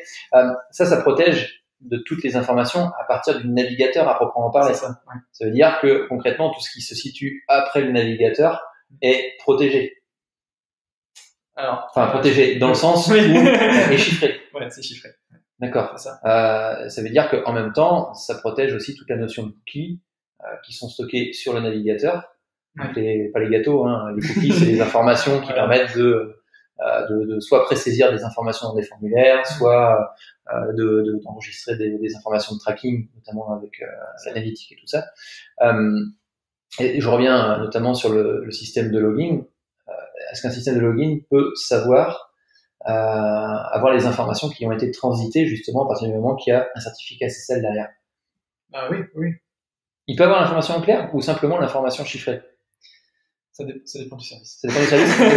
peut-être on va rentrer un peu trop loin, donc du coup, on va pas rentrer dans le détail. C'est super chouette. Parce que t'as as plein d'authentifications différentes sur, sur ce, sur ce système-là.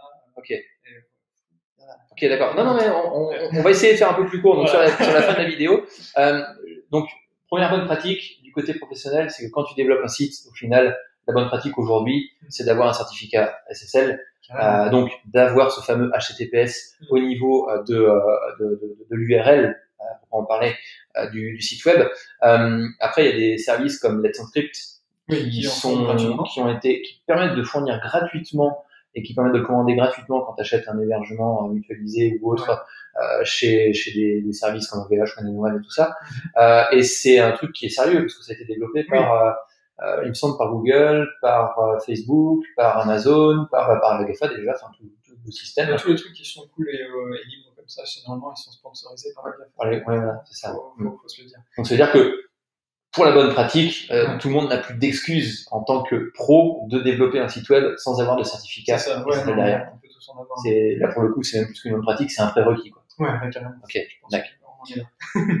Euh, du côté, alors ça c'est du côté web, du côté ops, Mhm. euh, notamment quand tu vas venir travailler sur des machines, est-ce que tu as des bonnes pratiques, euh, enfin des machines, des serveurs Mhm. ou autre chose, tu as des bonnes pratiques à mettre en place que, bah, que toi tu mets en place, que dans le milieu ops on met en place? T'en, as plein, plein, plein, plein. plein. On est blindé de, de bonnes pratiques au niveau de la sécurité ou d'hy- d'hygiène informatique. Euh, donc là, on, on peut dire qu'on a parlé en fait, on a fait de la sensibilisation utilisateur. On parle grosso euh, modo de tout ce qu'il faut faire attention, de tous ces trucs, toutes ces failles qui sont connues et dont on peut se prémunir euh, maintenant facilement. Hein. Ouais. Euh, ça, c'est de la sensibilisation utilisateur. C'est un des premiers piliers euh, dans son entreprise qu'il faut respecter. C'est de temps en temps faire un petit rappel, aller voir les gars et dire ah, au fait, euh, vous verriez bien votre session toujours. Ouais, euh, mhm. Si euh, là, euh, vous allez aux toilettes euh, pendant mon intervention, euh, j'aurai pas la mauvaise surprise de retourner votre écran et d'être sur votre navigateur internet. Voilà, c'est de la sensibilisation utilisateur. Ça, il faut en faire souvent. Euh, le deuxième euh, le deuxième pilier, c'est aussi de euh, de mettre en place ce qu'on appelle une politique de sécurité. Ouais. Euh, normalement, avant même de construire, alors avant on construisait à la papa, l'informatique venait de se développer, on parlait pas de ça. Euh, on prenait un serveur et on construisait euh, tous les outils dont on avait besoin pour l'entreprise. Maintenant, euh, quand on développe quelque chose de nouveau, aussi, on doit développer une, une entreprise nouvelle à partir de rien. Le premier pas, je dirais, avant même d'acheter des serveurs ou d'acheter des services qu'on va mettre à disposition de l'entreprise, c'est de mettre en place la politique de sécurité et, dire bon, euh, comment on réagit les gars euh, si ça se passe mal? Euh, Comment on réagit quand quelqu'un fait quelque chose de pas bien? Euh, Qui c'est doit faire quoi? Au final. Ouais, voilà, en- toute la politique. Mm. Ouais, c'est, est-ce qu'on fait une po- politique totalitaire ou quand quelqu'un va rentrer dans notre bureau en disant j'aimerais bien avoir le droit de ça, euh, et on lui dit bah va chier et puis Mm. on en reparle, euh, ou on a une politique on va dire plus flexible parce qu'on a rien de bien sensible et quand quelqu'un dit ah j'aimerais bien avoir accès à ça, on dira ouais ok c'est cool. Ouais, donc du coup, tu définis le rôle de chaque personne en fonction du niveau de, euh, de, de- comment dire, Bah, d'importance de la donnée. C'est ça, de la sensibilité de la donnée. Et, euh, alors du coup, il y a plusieurs sensibilités. Il y a la sensibilité du service qu'on va fournir. Si par exemple, moi je suis Netflix, euh, bah, au niveau de la base de données de mes comptes utilisateurs, bah, il va falloir que je fasse très, très strict. Mm. Ça, c'est non négociable. Ouais. Et euh, par exemple, bah, comment on va traiter les employés Netflix en interne? Ouais. Est-ce Mm. que euh, on va être totalitaire et dire alors on fait sur un papier qui a droit de faire quoi et ça dépasse pas des lignes, ou on va faire une politique plus flexible et on va dire bon alors on a mis la politique totalitaire en place. Est-ce que de temps en temps, quand ça se passe mal, machin, il peut avoir plus de droits parce que Ouais. c'est bordel? En fonction du contexte, Voilà. l'évolution de l'entreprise, du contexte, si euh, tout le monde s'est pété la jambe euh, ou tout le monde euh, s'est dit ce serait cool d'être confiné, Voilà. euh, qui, qui, si on qui peut, qui sortir le- l'entreprise un petit peu du jus. Voilà. Dans ces cas-là, il y a une espèce de seconde ligne. J'ai l'impression de parler comme un grand président de la République, qui, euh, mais euh, concrètement, oui, qui, qui en seconde ligne, ouais, voilà, qui qui en seconde ligne a le droit d'accéder à ce type d'informations pour venir euh, débloquer la situation X ou Y. Donc ça, ouais, ça s'appelle la PSSI, la politique de sécurité informatique. D'accord Va, la PSSI, la PSSI. politique de sécurité du système informatique, va en décoller du coup euh, la, la vraie euh, direction du service de sécurité informatique. Euh, C'est-à-dire, euh, on va mettre en place techniquement euh, ce qu'on a dit et euh, on va bien définir au niveau des services qui a droit de faire quoi, euh, qui a droit d'agir sur quoi, quel matériel a droit d'agir sur quoi. On va donc définir tous les flux dont on parlait au niveau personnel, mais là dans l'entreprise avec nos services. Et on va dire, bon bah là ça va passer comme ça, ça devra se passer comme ça, etc. Euh, et ce qui nous permet aussi euh, de réagir derrière en cas de crise. Euh, si jamais c'est le bordel, si jamais on s'est fait pienter, Ouais. qu'est-ce qu'on fait? Oui, oui, oui. Bah, c'est un petit peu ce que la RGPD a, a demandé de faire dernièrement. Voilà, Euh, C'est-à-dire que euh, la, la- quelle politique tu mets en place euh, en cas de fuite de données ça. euh, et qu'est-ce que tu qu'est-ce que tu fais Comment est-ce que tu vas résoudre le problème Qu'est-ce que tu vas mettre en place comme nouvelle politique en fonction Et euh, comment est-ce que tu vas prévenir les personnes concernées C'est à peu près le même système au final. C'est bah, c'est un super exemple parce que c'est exactement ça. En fait, l'Europe a mis en place euh, une politique. Enfin une politique. Enfin une politique de sécurité informatique euh, qu'on attendait depuis longtemps. hein. Les Américains euh, avaient fait, ils avaient commencé avec le Patriot Act, en fait, Mm. très, très simplement, euh, qui euh, nous impacte encore aujourd'hui. Euh, et euh, en fait, voilà, l'Europe a répondu euh, avec le RGPD et mm. ni plus ni moins, elle a mis en place une politique de sécurité informatique pour ses utilisateurs et dire bah voilà, si ça se passe mal pour nos utilisateurs, bah, qu'est-ce qu'on doit faire? Et techniquement, qu'est-ce qui en découle? Bah, mm. C'est le RGPD sur les entreprises et tous les services qu'on a au, niveau européen. C'est un super exemple. Ouais, ouais. non mais c'est vrai en plus. Hein, c'est vrai qu'ils n'ont pas fait que des trucs cons au final. Non, non, non.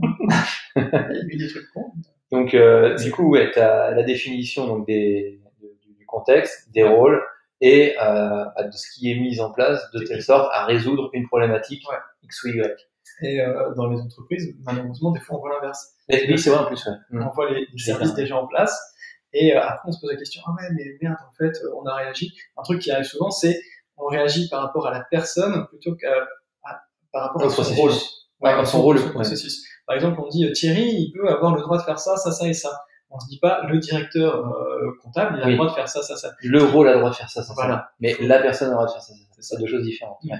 Oui, oui, oui, tout à fait. Et euh, du coup, bah, ça, ça arrive, euh, c'est con parce que ça arrive euh, aussi bien au niveau technique informatique que au niveau bah, des processus de, de, management ou de gestion de projet. Mmh. Quand on fait des, des, des, des, RFC ou voilà, ou quand on définit des processus, en fait, des fois, on a tendance à écrire le nom plutôt que le rôle. Alors qu'il faut toujours définir d'abord le rôle. Le rôle. Voilà. Et après, tu associes le nom au rôle. Quoi. Exactement. Là, tu rentres. Alors, c'est vrai que ça rentre dans un autre monde complètement différent, mais ça me fait penser à autre chose, notamment à de la gestion de projet à proprement parler, parce que ah, c'est complètement ça. Alors, moi, j'en parle de temps en temps sur la chaîne de gestion de projet. J'ai fait quelques vidéos là-dessus, euh, mais effectivement, euh, ça me fait penser aussi euh, à toute la partie CMMI que tu peux retrouver dans certaines entreprises, qui sont des niveaux de documentation de plus en plus. Je vulgarise. Hein, donc, si toi, euh, tu es un pro CMMI, CMMI et que dans les commentaires tu commences à rager sur le fait que j'ai trop vulgarisé fais-toi plaisir, amuse-toi. En plus, ça Surtout donner des détails parce que comme ça, ça prend tout le monde au passage. Exactement. Mais concrètement, oui, c'est un niveau de documentation qui définit en même temps qui a le droit de faire ça. Mais là, on rentre vraiment dans la gestion de projet. Et au final, ce que tu es en train de dire là, euh, tu l'utilises du côté Ops, mais on pourrait très bien l'utiliser du côté Dev aussi. Parce que qui a le droit d'avoir les codes de la production pour accéder à la base de données de telle sorte à faire telle migration c'est pas qui a le droit dans l'entreprise, c'est potentiellement quel rôle dans l'entreprise. Et notamment, tu as un rôle qui est déjà tout fait, c'est le DBA, le gestionnaire de base de données, qui, lui, c'est son rôle. Après, c'est vrai que c'est un peu compliqué ce que tu dis, et puis je vois déjà les commentaires arriver sur le principe de dire ouais, mais bon, dans l'entreprise, généralement, on met euh, la compétence Intel parce que c'est lui qui a l'habitude de le faire. Ouais. Effectivement, mais derrière, il est quand même associé à un rôle, un rôle et, euh, qu'on va pouvoir ajouter dans, la gestion de projet. Euh, ça, ok, d'accord. Donc du coup, tu as la partie gestion de projet, la partie gestion de la sécurité de la mise en place. Ouais. Ça fait aussi appel à un autre système qui est aussi l'amélioration continue, parce qu'au final, si tu définis un contexte euh, qui permet de définir derrière un rôle et qui permet de définir, enfin oui, un rôle, c'est ça, mm-hmm. et qui permet ensuite euh, de mettre en place une, une action en fonction d'une contrainte X ou Y. Au final, tu peux retourner au début et faire de l'amélioration continue de ton système informatique. C'est super ce que tu dis. c'est super ce que tu dis parce que du coup. Oui, il me semble que j'ai fait la gestion de projet. Ouais, j'ai vu. avec quelqu'un. Euh, et du coup, ouais, bah, du côté Ops, on parle, on parle de l'ITIL. Oui. Ouais. Tu parles du CMI, euh, mais nous, on parle un petit peu plus ITIL. Donc, du coup, c'est un ensemble de bonnes pratiques qui ont été définies et regroupées euh, dans, dans, plusieurs documents qu'on appelle maintenant l'ITIL. Euh, du coup, moi, j'ai intervenu sur l'ITIL V3 je sais plus en quelle version on est, j'ai pas, j'ai pas fait mes mises à jour, je suis désolé. Mais déjà utile 3 c'est déjà très bien. Donc l'idée c'est de, euh, c'est de quantifier euh, toutes les actions, euh, de, de, les qualifier, de les définir le plus possible pour qu'à la fin ben, on ait le plus vite possible. Ouais. Et en sécurité, en fait, une fois qu'on a établi notre processus, qu'on a dit bah tel rôle il a le droit de faire ça, mm. on voit comment ça va se passer et comment les authentifications, par exemple, vont se passer ouais. au niveau de mon service. Et il faut que ce soit le plus transparent possible pour l'utilisateur. Euh, quand moi je suis en train euh, d'utiliser, euh, si je suis un comptable ou un commercial qui est en train d'utiliser le logiciel de l'entreprise, euh, j'ai pas envie de m'authentifier 15 000 fois dans la journée. Je m'authentifie ah pour ma session, je m'authentifie pour mon service HTTP, je m'authentifie pour euh, avoir accès à, mon, à ma messagerie d'entreprise, je m'authentifie pour avoir Office 365. Bref, euh, il faut que ce soit transparent. Il faut, par exemple, qu'il n'y en ait qu'un seul à, à, mettre et puis on n'en parle plus. Donc ça, c'est le SSO, c'est le single sign-on. Euh, et euh, bah, on le fait euh, aussi de, de cette manière-là. C'est-à-dire mm. que euh, si mon, mon, gars il s'authentifie sur sa session, ça veut dire qu'il s'authentifie sur le serveur du domaine, comme on a expliqué, est-ce que ça, je peux pas l'utiliser pour autre, autre chose? Puisque du coup, il s'authentifie une fois, on sait que c'est lui, on n'en parle plus. Hmm. tu, tu parles de SSO, donc le SSO, c'est le fait de s'authentifier une seule fois, d'accéder à plusieurs services simultanément. Est-ce qu'on peut comparer le Facebook Connect un SSO je sais pas, c'est trop web pour toi. Là, là, je suis là. Non, parce que je vois, je vois le. quand, tu parles de SSO, et ça me fait penser ça à l'instant, pourtant on avait parlé déjà avant, mais euh, le Facebook Connect, c'est tu accèdes à un service avec tes identifications de, euh, de Facebook. Ah, tu Même si comme, techniquement derrière. Tu sur Spotify et qu'on te dit tu veux t'authentifier. Exactement. Ok, c'est bon, je l'ai. Est-ce que, est-ce que du coup on peut faire la comparaison entre les deux? Simplement, simplement imaginer, sans, sans parler technique, parce que derrière, après, ça marche pas forcément de la même façon. ok, d'accord. C'est simplement pour imaginer, pour, pour, pour, faire comprendre à la personne qui va, voit la vidéo, à faire un parallèle avec le Facebook Connect à côté, qui euh, permet de... carrément. Si on prend Office 365 et l'authentification sur la session, c'est exactement la même chose. Parce que Office l'a bien mis en place. Il a, il a fait le Facebook Connect à la Office, quoi. C'est ça, carrément. Hmm. En fait, quand j'ai authentifié sur ma session dans mon domaine, j'ai fait une première authentification. Et celle-là, bah, euh, elle peut me servir pour elle peut me servir pour d'autres services. Par exemple, pour me connecter sur Office 365 euh, version, euh, si je veux avoir Word 365 ou si je veux avoir PPT, euh, enfin PowerPoint 365, hmm. bah, je me suis déjà authentifié une fois dans mon domaine, c'est bon, ça suffit. Je suis pas obligé de m'authentifier d'autres fois. Ouais. Donc c'est exactement le même procédé. C'est une fois que je me suis authentifié sur Facebook, je peux aller voir, je peux avoir Spotify ou d'autres trucs. C'est la même chose. Ok. Très bien. Et donc du coup, ça on fait aussi pour d'autres pour d'autres processus et on essaie de le faire le plus transparent possible. Euh, il n'y a pas que Office 365, hein. on peut euh, par exemple euh, se poser la question sur un accès à un stockage mmh. d'entreprise. Voilà, une fois que le mec il soit authentifié, est-ce que je peux récupérer ce qu'on appelle des credentials, du coup. Euh, donc tout ce qui accompagne son profil utilisateur dans le domaine mmh. pour pour m'en servir pour, pour un autre service, ce qui lui éviterait de mettre un autre mot de passe. Mmh. Et donc du coup, bah voilà, de lui faire retenir un autre, que ça fasse une autre faille de sécurité, etc. donc ce qui est intéressant, c'est que quand j'ai défini tous ces processus-là, effectivement, je peux les améliorer. Je peux me poser la question comment je peux les améliorer? Une fois que je les ai améliorés, je peux avoir du coup le retour à l'utilisateur, s'il est satisfait ou pas. Oui, et là, on termine enfin. Tu, oui, tu, tu, tu, pars sur les critères, sur, les, sur les éléments qui te permettent de définir les bons critères, qui te permettent de dire si c'est efficace ou pas, ou s'il faut changer des choses. Ça, du coup, c'est la satisfaction client. Ok. Oui, bah oui, de toute façon. Et c'est fini. On peut relancer la roue après. Et après, tu peux relancer la roue et t'es euh, en amélioration continue de ton système informatique. Exactement, c'est ça. Ok, d'accord. Donc voilà, ça c'est, c'est une des bonnes pratiques qu'on, peut mettre en place. Donc il y a la sensibilisation utilisateur, il y a le PSSI, et ensuite il y a, la, il y a toute la technicité. Je, tu parles de connexion là, euh, ça me fait penser à, à, autre chose. Moi, plus du côté dev, alors j'ai mes pratiques de, de connexion, euh, notamment quand je me connectais à des serveurs, euh, par exemple, c'est-à-dire que euh, si je veux faire le déploiement d'une application manuellement, je vais aller me connecter en SSH, éventuellement, tu vas expliquer ce que c'est que le SSH C'est ta partie du travail. Attends, écoute. Et, et donc derrière, non. Mais ce que je vais faire, c'est que je vais me connecter au serveur de façon un petit peu sécurisée, on va dire, pour pouvoir aller déployer mon application, euh, déplacer des fichiers, modifier des fichiers, etc., etc. Euh, Est-ce que tu as des bonnes pratiques justement de ce côté-là au niveau du, du, comment dire de la connexion à des serveurs qui peuvent être plus ou moins sensibles. Ça peut être un serveur de production, ça peut être un serveur euh, de, de, test, de, test, de test d'ordre global, comme ça peut être un serveur de stockage de données, par exemple. Est-ce que est-ce que au niveau Ops, est-ce que au niveau euh, euh, bonne pratique, il y a des choses à mettre en place? Alors, il y, a, il y a plein de choses à mettre en place en fonction de la sensibilité de, du service et de la donnée sur laquelle on va agir. Euh, il y a alors encore aujourd'hui, ce qui est assez étonnant, c'est qu'il y a deux, il y a deux réactions. Euh, quand on fait euh, le, maintien en condition opérationnelle, quand on a des techniciens qui agissent pour que euh, bah, le système informatique général puisse bien fonctionner, le MCO, le maintien en condition opérationnelle. Donc du coup, nos, techniciens, ils, font le MCO et euh, ils se connectent au, système informatique pour agir. Et donc, soit on fait une séparation des flux avec des, des réseaux virtuels, etc., bien séparer ce qui est administratif et ce qui est de service ou ce qui est de production. Et, euh, ou alors on peut, on peut le faire carrément physiquement et c'est ce qui est conseillé aujourd'hui, c'est d'avoir. Quand tu dis, quand tu dis virtuel, je, te coupe, ouais. fait simplement. Quand tu dis virtuel, c'est-à-dire que j'ai un serveur ouais. et d'un côté je vais avoir un accès de connexion pour la partie admin ça. et un accès de connexion pour une partie technique ou autre. Ou utilisateur. Mais sur le même serveur. Sur le même serveur. C'est-à-dire que potentiellement il peut il peut y avoir des, des interconnexions à l'intérieur. Euh, bah, C'est-à-dire que si on c'est éventuellement possible. Bah oui, non, ils vont pas se, se, rencontrer, ils vont pas rentrer en conflit, ils vont passer par le même tuyau. Euh, L'idée en fait, c'est de, de, bien séparer les flux en fait, de, de dire euh, ça c'est des utilisateurs qui utilisent la production, ça c'est des techniciens qui utilisent l'administration du serveur. Ok, d'accord. C'est l'idée, mm. c'est j'ai des réseaux virtuels, je les sépare comme premièrement comme ça. Mm. Et euh, donc tous ceux qui font de l'administration, eux, ils peuvent utiliser par exemple des machines voilà, des machines de PC portables qui vont utiliser pour télécharger des, des, euh, des logiciels sur Internet. Ils vont ensuite s'en servir pour, pour accéder aux, serveurs euh, de production. Mmh. Euh, ça, c'est pas bien en fait. Et ce qui est recommandé aujourd'hui maintenant, c'est d'avoir un PC physique qui n'a pas de connexion Internet et lui seul a le droit d'avoir des connexions au serveur de production. Okay. Euh, voilà, il faut, faut, faut, faut, bien, bien séparer ça. Euh, parce que, Alors là, tu, tu parles dans une infrastructure où les réseaux sont, enfin, les machines serveurs sont sur le même site que la machine physique. Ouais. Par contre, pour un développeur, lui, en général, il va se connecter quand même à un serveur. les développeurs s'en foutent. Hmm. Ils font n'importe quoi.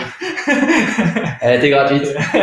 les développeurs, hein, je vous invite à... Hein ils ont pas, en même temps, ils n'ont pas le choix. Euh, mais ce qui, ce qui on n'a pas trop le choix, oui, effectivement. Ce qui, ce qui serait bien, et on peut parler d'un autre sujet, du coup, c'est que bah, les développeurs, ils, ils aient une machine de l'entreprise, qui n'utilisent pas leur machine spécifique, voilà. qui irait se connecter elle ouais. uniquement sur un serveur spécifique. Voilà. Ou, euh, pour la mise en prod. Pour la mise en prod, par exemple. Donc c'est, euh, moi je le vois sur un autre niveau euh, plus orienté à tout ce qui est déploiement d'applications. -hmm. au final, tu vas avoir d'un côté le poste de développement ouais. qui va être là pour développer, Mm. qui va déposer les fichiers sur un service X ou Y, notamment nous en développement, on va parler plus de GitHub dans lequel on va déposer notre code Ouais. qui sera versionné. Mhm. Et de l'autre côté, on va avoir un autre serveur qui va récupérer cette information, Ouais. euh, transformer l'application de façon à ce qu'elle fonctionne en prod et d'aller pousser ça sur un autre serveur. Et au final, cette machine-là, celle que tu dis qui devrait avoir une seule connexion en prod, ça serait plus cette, cette machine-là Ouais, intermédiaire. ouais, ouais, carrément. Ok. Carrément comme ça, euh, en fait, ça, ça, évite de, de, ça nous évite de, de transporter des, des, choses qui seraient malveillantes qu'on qu'on aurait récupérées à droite à gauche. Si, euh, si par exemple, moi, euh, le, le, pire truc qui peut arriver, c'est que j'utilise ma machine personnelle et, euh, et, enfin que ma machine personnelle soit ma machine professionnelle. Voilà, je vais naviguer sur sur internet tranquillou chez moi. Euh, je rentre euh, dans mon entreprise, je suis infecté de partout, je ne le sais pas, et ensuite je vais me connecter au serveur de production. Voilà, c'est un désastre. C'est un désastre. Et là, on dit, t'as encore été au McDo, toi. c'est ça. On partage tout le monde au McDo. voilà, euh, c'est exactement ça. C'est le pire scénario qui peut arriver. Et ce sont des scénarios qui arrivent et qui sont des fois tout cons euh, et qu'on qu qu peut tester des fois en entreprise ou dans la rue. Mm. C'est euh, vous laissez une clé USB par terre. Ah bah ouais, mais ouais, là, Enfin, il y, a, y, a, un certain niveau d'intelligence. quand tu vois une clé USB par terre, effectivement, tu pourrais dire ah cool, une clé USB. Euh, ouais. Moi, je, je, prends pas en dessous de à peu près 3 Tera.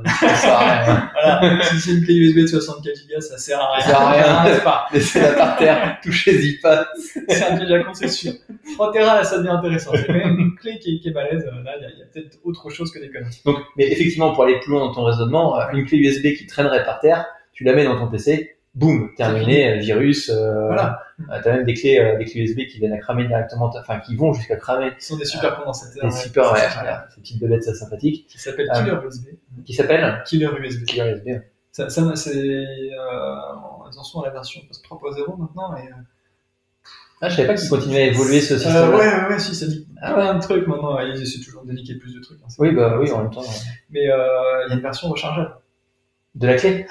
Donc c'est-à-dire que tu, alors la clé USB, qu'est-ce que c'est ouais. C'est une clé USB que tu branches sur ta machine et qui vient la cramer. C'est, il vient la tuer. Ça vient baiser ton disque dur, la carte mère. d'électricité telle crame tout. Voilà, donc c'est l'électricité. Donc du coup maintenant tu as une clé USB rechargeable qui voilà. permet de killer autant de PC que tu veux. Voilà, c'est okay. c'est plus à usage unique. Avant c'était un super condensateur qui envoyait tout et puis il cramait au passage.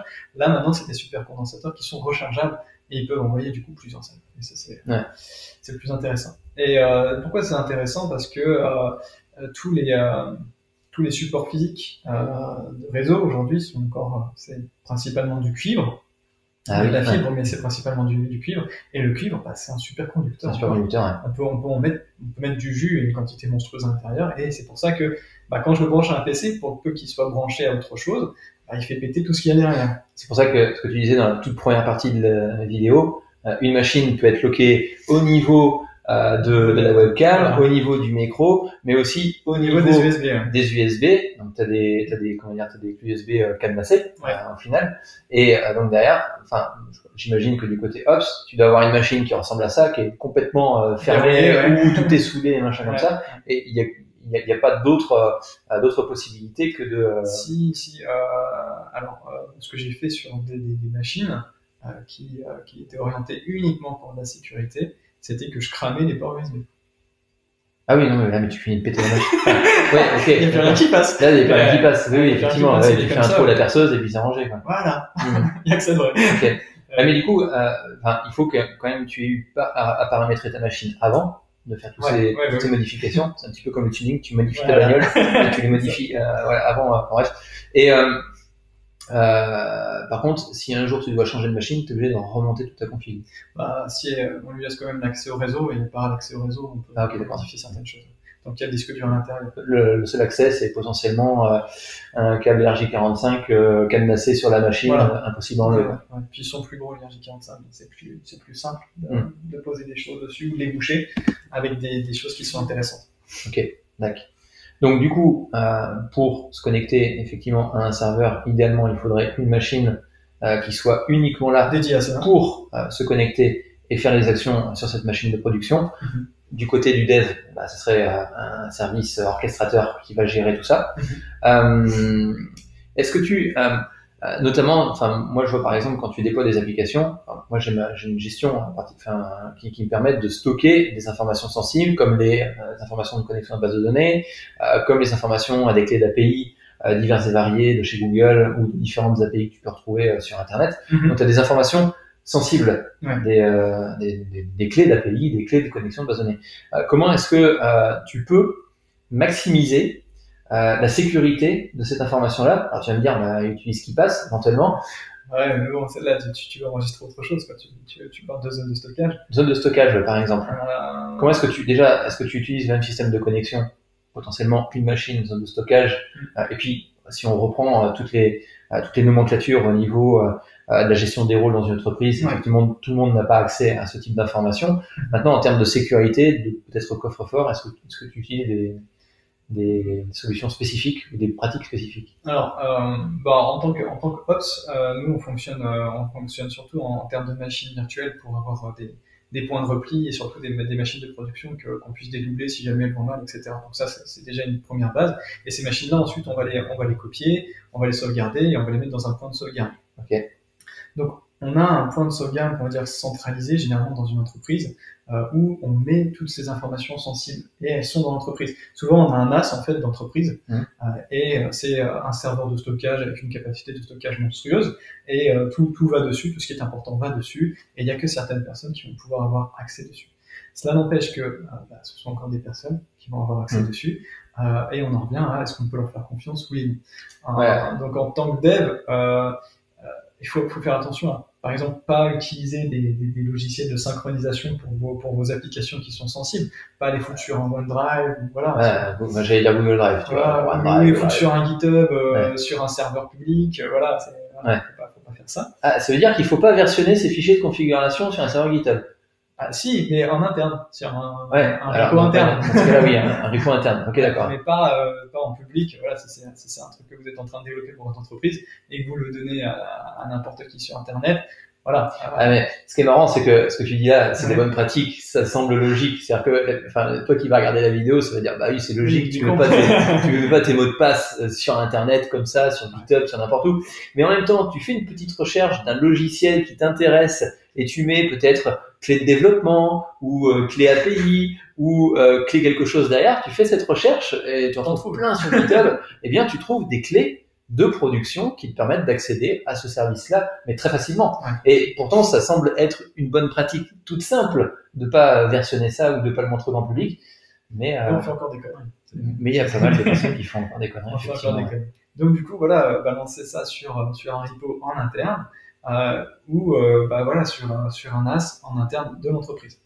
Euh, après, voilà, il y a, a d'autres- il y a d'autres problèmes. C'est-à-dire que, bon, non, vous êtes en sécurité dans votre entreprise. Est-ce que vous pouvez faire confiance à l'entreprise? Est-ce Mm. que je peux faire confiance à l'administrateur de mon entreprise euh, qui va pas, lui, par exemple, je sais pas, usurper mon identité et puis aller prendre, exporter ces données-là ailleurs pour les vendre ailleurs? Voilà, ça reste un, autre souci, mais la bonne pratique, oui, c'est de toujours utiliser des services en fait en interne hmm. et de bien séparer en tant qu'employé euh, bah, son PC professionnel et son PC euh, personnel. Voilà, que, que cette, cette, distinction soit, soit bien faite. Ouais. Encore plus avec le télétravail. Parce que là, on ah oui, parce qu'en plus là, ça amène une autre dimension à la sécurité, parce que tu ramènes ton poste de travail sur ta connexion internet personnelle. Et euh, on, on, a l'impression que c'est dangereux que dans un seul sens. Par exemple, de se dire, bah, je ramène quelque chose de professionnel à la maison ou voilà, je ramène quelque chose de personnel dans le monde professionnel. Et ce qui est, ce qui est dangereux, c'est que quand moi je ramène des choses personnelles dans euh, quelque chose de professionnel, hmm. on, imagine que c'est dangereux que dans ce sens-là, mais en fait c'est aussi dangereux dans l'autre sens. C'est-à-dire que euh, si vous utilisez euh, votre PC professionnel chez vous à la maison pour consulter votre boîte mail, étant donné que bah, l'entreprise peut avoir accès à votre PC n'importe quand et voir un petit peu ce que, ce que vous avez fait avec cet outil-là qui vous a mis à disposition, bah, potentiellement il a le droit d'aller voir vos, mails perso. Est-ce que vous êtes authentifié mmh. dessus à, à, telle, à telle date? Euh, donc il y a encore pas mal de jurisprudence là-dessus, ça fait encore débat. Euh, mais voilà, euh, en fait, il faut savoir que c'est pas dangereux que dans un seul sens, c'est dangereux dans les deux sens. Oui, oui, oui. vous mettez en danger des deux côtés. Oui, oui, je comprends. Ouais. Effectivement, tu, oui, ça, ça, ça va jouer sur les deux, deux côtés. Et d'ailleurs, euh, sur, sur l'aspect télétravail, ce que tu disais, ce qui est, intéressant, c'est que avant qu'il y ait eu cet épisode sanitaire, euh, le télétravail était d'actualité, il y avait déjà des entreprises qui s'étaient spécialisées dans le fait de, euh, entre guillemets, euh, moucharder un petit peu les machines des, des autres personnes. Et effectivement, tu peux récupérer quand même pas mal d'informations sur la personne en elle-même, sur ce qu'elle est en train de faire sur sa boîte mail. Ouais. Puis pareil, là on rentre dans un, dans un autre délire, mais est-ce qu'on peut faire confiance à son entreprise là-dessus? Ouais, bah, euh, là, là, tu pars dans la parano. Euh, dans la je parano. à personne. ouais, c'est ça. Euh, Est-ce que tu vois donc du coup d'autres choses à voir ensemble sur ce type de vidéo, enfin ce type de, de, sujet de sécurité en entreprise? Parce que je vois, si, je, je, reviens sur un sujet. Ouais on coupera la, je couperai cette partie Ça, ça sert à rien de la rajouter ici. Euh, donc du coup, est-ce que tu vois d'autres sujets euh, que l'on pourrait aborder justement sur les bonnes pratiques en entreprise? Alors, il doit y en exister des tonnes. Des tonnes. Euh, moi, je vois, j'ai essayé, comme on est sur une chaîne un peu orientée dev, j'ai essayé de rapporter au niveau dev ce que tu, ce que tu mets en termes de bonnes pratiques. Mm-hmm. est-ce que tu vois un, un, autre point important, ou tout du moins, je vais reformuler, reformuler ma question. est-ce que tu vois un truc chez les devs euh, qui font un truc, un truc, d'accord, qui font euh, et que tu trouves du côté d'un œil ops euh, complètement absurde que ce soit mis en place, que ce soit fait. Ouais. Il y, a, y a un truc qui me rend complètement dingue, c'est les partages de code, de code sur Slack. ouais, non, mais ça, c'est pas savoir coder, ça. C'est Ça, c'est un manque de, pour moi, c'est un manque cruel de compétences. Il y a des outils qui existent. Euh, effectivement, oui, oui, On pourra travailler dans des, dans des écoles, d'accord.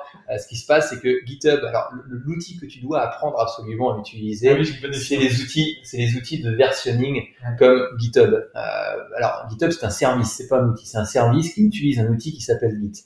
Et, euh, et, ce qui se passe, c'est que c'est un outil qui demande une certaine euh, une certaine mise en main, enfin comment dire, un certain temps de, de, de mise à, euh, d'utilisation, de savoir prise en main. de prise en main. On va chercher le terme, merci. Heureusement que tu es là, hein, parce que sinon la vidéo reste encore beaucoup plus longue. Et euh, donc, bah, ce qui se passe, c'est que par facilité, euh, bah, on va, on a vu des personnes partager des codes soit sur Slack, quand ça va mal, ou encore mieux, encore mieux, sur Facebook Messenger. ah, j'ai pas vu ça. si, je l'ai vu. ok, sur Facebook Messenger. Bah voilà, moi ce qui me rend complètement ouf, euh, au-delà que je ne peux pas lire euh, ce qui est écrit, euh, puisque c'est du code, hmm. c'est que bah, c'est des morceaux d'application qui sont écrits en clair et bon, peut-être que si j'avais les compétences de comprendre ce qui était écrit, je pourrais en tirer des informations assez importantes, voire même capitales sur sur, sur l'application. ça me donne au moins un morceau, peut-être que je peux le récupérer, aller décortiquer ce qui se passe, faire du, du reverse engineering, me poser des questions, pour essayer ensuite d'attaquer derrière. alors pourquoi ça, ça, ça m'agace? Parce qu'en fait, nous, du côté Ops, euh, ça se fait aussi, c'est pourri, mais ça se fait aussi. C'est par exemple, moi, euh, j'ai besoin d'avoir le mot de passe administrateur euh, d'un service que j'ai pas. Je vais aller voir un technicien qui lui a le droit et je vais dire tiens tu peux me le passer, j'en ai besoin pour faire telle manipulation. Et le mec va me le passer sur le chat, euh, genre sur Teams. Euh, mais qu'est-ce qui dit que l'administrateur Teams, je peux lui faire confiance parce que là, et voilà, regarder. lui aussi, là, là, il a le mot de passe et puis il va pouvoir aller s'amuser peut-être avec euh, d'autres d'autres authentifications. Donc euh, bon voilà, c'est une connerie qu'on fait. C'est ouais, c'est du, c'est du, euh, euh, c'est de la conscience professionnelle sur le code, et il faut pas non plus que ce code-là soit trop, euh, euh, euh, critique. trop critique euh, pour l'application effectivement. Donc euh, oui, il y, a des, il y a des soucis de debugging, il y a de l'aide, etc. Mais euh, voilà, il faut toujours se dire que quand on utilise un service, il y a un mec qui fait l'administration de ce service-là. Et euh, si je balance des infos dans ce service-là, bah lui, il est, potentiellement, il les a. Hmm. Donc euh, voilà, c'est juste. C'est en fait, euh, c'est euh, si je résume un petit peu euh, toute cette euh, toute toute la quantité d'informations qu'on a essayé de regrouper dans ces vidéos-là, Mm. il y a deux grandes choses qui sont importantes à comprendre. Ouais. Un, c'est euh, quel niveau euh, de confiance on a dans le système Ouais. que l'on va utiliser, que l'on va consommer. Euh, donc ça peut être au niveau humain aussi bien au niveau technique. Ouais. Et le deuxième point, c'est que aujourd'hui, toute la sécurité Internet tient sur une chaîne de caractères. Ouais. Exactement.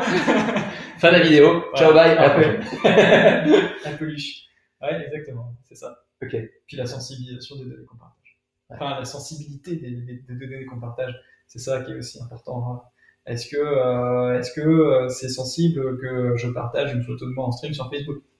Voilà. Ouais. Mais Ah, ça peut être plus ou moins sensible. Effectivement, pour un entretien d'embauche, ça, ça, ça oriente euh, tes, tes capacités à te faire embaucher dans certaines entreprises.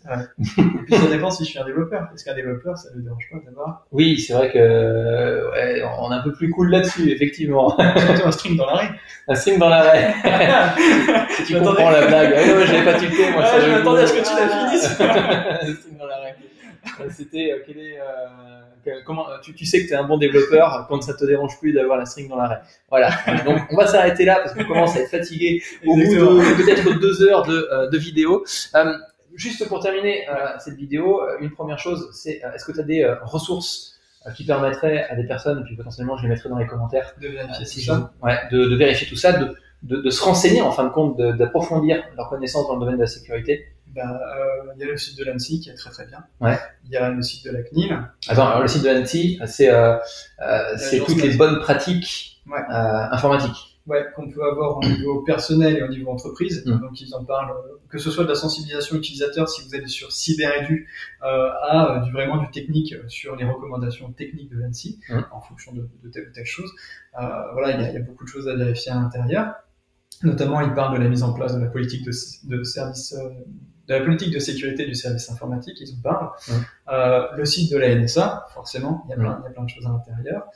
Euh, bah, ils peuvent aller sur ITIL, déjà pour comprendre un petit peu les Ah oui, tout à fait, ouais. tout, ce qui est, tout ce qui est management. Euh, après, ils peuvent taper des mots-clés sur Internet, jurisprudence May, euh, on, peut, on peut voir quoi, on peut, euh, le Bring Your Own Device, on n'en a pas parlé, mais on a survolé ça. Le killer USB, il suffit de taper killer USB Ouais. ou Turtle USB. Je crois qu'il y en a sur Amazon en plus. Ça se vend, ça se vend pour 50 euros, c'est pas cher. C'est livré en plus, hein, tranquille. C'est-. Euh, Qu'est-ce qu'on a On a parlé de quoi d'autre? Euh, Bah, les- ouais, ils, ils peuvent aussi regarder, juste pour s'amuser, euh, les différents, le, le top 10 des mots de passe à Les top 10 des mots de passe. Ah, il y a Bitbound. Ils peuvent taper Ah dans, ouais, dans pour ouais. voir si euh, ils ont été en à danger à un fait, moment. exactement. Tapez Euh, votre adresse email, c'est un moteur de recherche tout simple euh, sur lequel bah, il y a juste à, à taper son adresse email Mhm. et euh, bah, pour le coup tu, tu, tu sauras à quel site c'est fait. Euh, Hacker avec, c'est ta- fait hacker. avec ton adresse mail. Voilà, donc si tu vois le nom de ta banque, courage. Euh, D'autres sources, bah, Microsoft avec le single sign-on, euh, Ouais. l'Active Directory de Microsoft, va Ouais. avoir plein de choses dessus. Euh, euh, comment sécuriser un Active Directory selon l'ANSI, il y a plein, de trucs. Ok. Euh, et euh, pour les alertes euh, de, de sécurité ou cybersécurité au niveau français, on a le CERTFR, donc CERT-FR, qui, euh, qui euh, bah, va vous permettre de faire de la veille techno euh, sur la cybersécurité comme ça, parce qu'ils font des remontées d'alerte. quoi. Tout ça, c'est tout ce dont on a parlé, c'est là-dedans. Les clés SSH, voilà, sur Internet, ils peuvent taper les mots-clés, et puis tout ça. D'accord, très bien. Bon, je mettrai les liens dans la description. Ah, il y en aura pas mal, hein, c'est- Il y en aura quelques-uns, il y aura quelques petits liens, ça se trouve juste en dessous dans la description. Euh, Est-ce que euh, tu as un profil LinkedIn qu'on pourrait partager aussi? Euh, Oui, mais il faut que je donne mon nom. Ça va être super long. ah non, non, non, pas besoin, t'inquiète pas, je vais mettre ah, en description, pareil. Euh, oui, je, oui, bon, je pourrais passer. Ouais, donc du coup, on pourrait te retrouver, tu vois, on peut te retrouver sur LinkedIn si euh, ils veulent plus d'informations. Ouais, tout simplement, euh, si peut-être qu'un jour tu auras une mission par l'intermédiaire de cette magnifique vidéo. Ah oui, yes. carrément, carrément. Ouais, ouais, ouais, il y aura mon profil LinkedIn euh, dans, dans, la description. Ok, d'accord, très bien. Eh ben, je vous invite en plus, en même temps, à aller voir le profil de FX et euh, sur ce, bah, si tu as apprécié la vidéo, n'hésite pas à liker euh, la vidéo, n'hésite pas à la partager à d'autres ops euh, parce que bah, bien évidemment ça peut aussi bien être euh, pour des devs que pour des ops aussi. je pense que c'est assez assez général. Mm. n'hésite pas à t'abonner aussi à la chaîne YouTube pour pouvoir recevoir les prochaines notifications parce que bah, les jours prochains on, je vais certainement rajouter d'autres informations euh, complémentaires sur la sécurité informatique, euh, sur le développement euh, informatique et puis d'autres sujets divers. Puis ça te permettrait de recevoir les notifications. Et sur ce, eh ben, on dit à plus tard. À plus.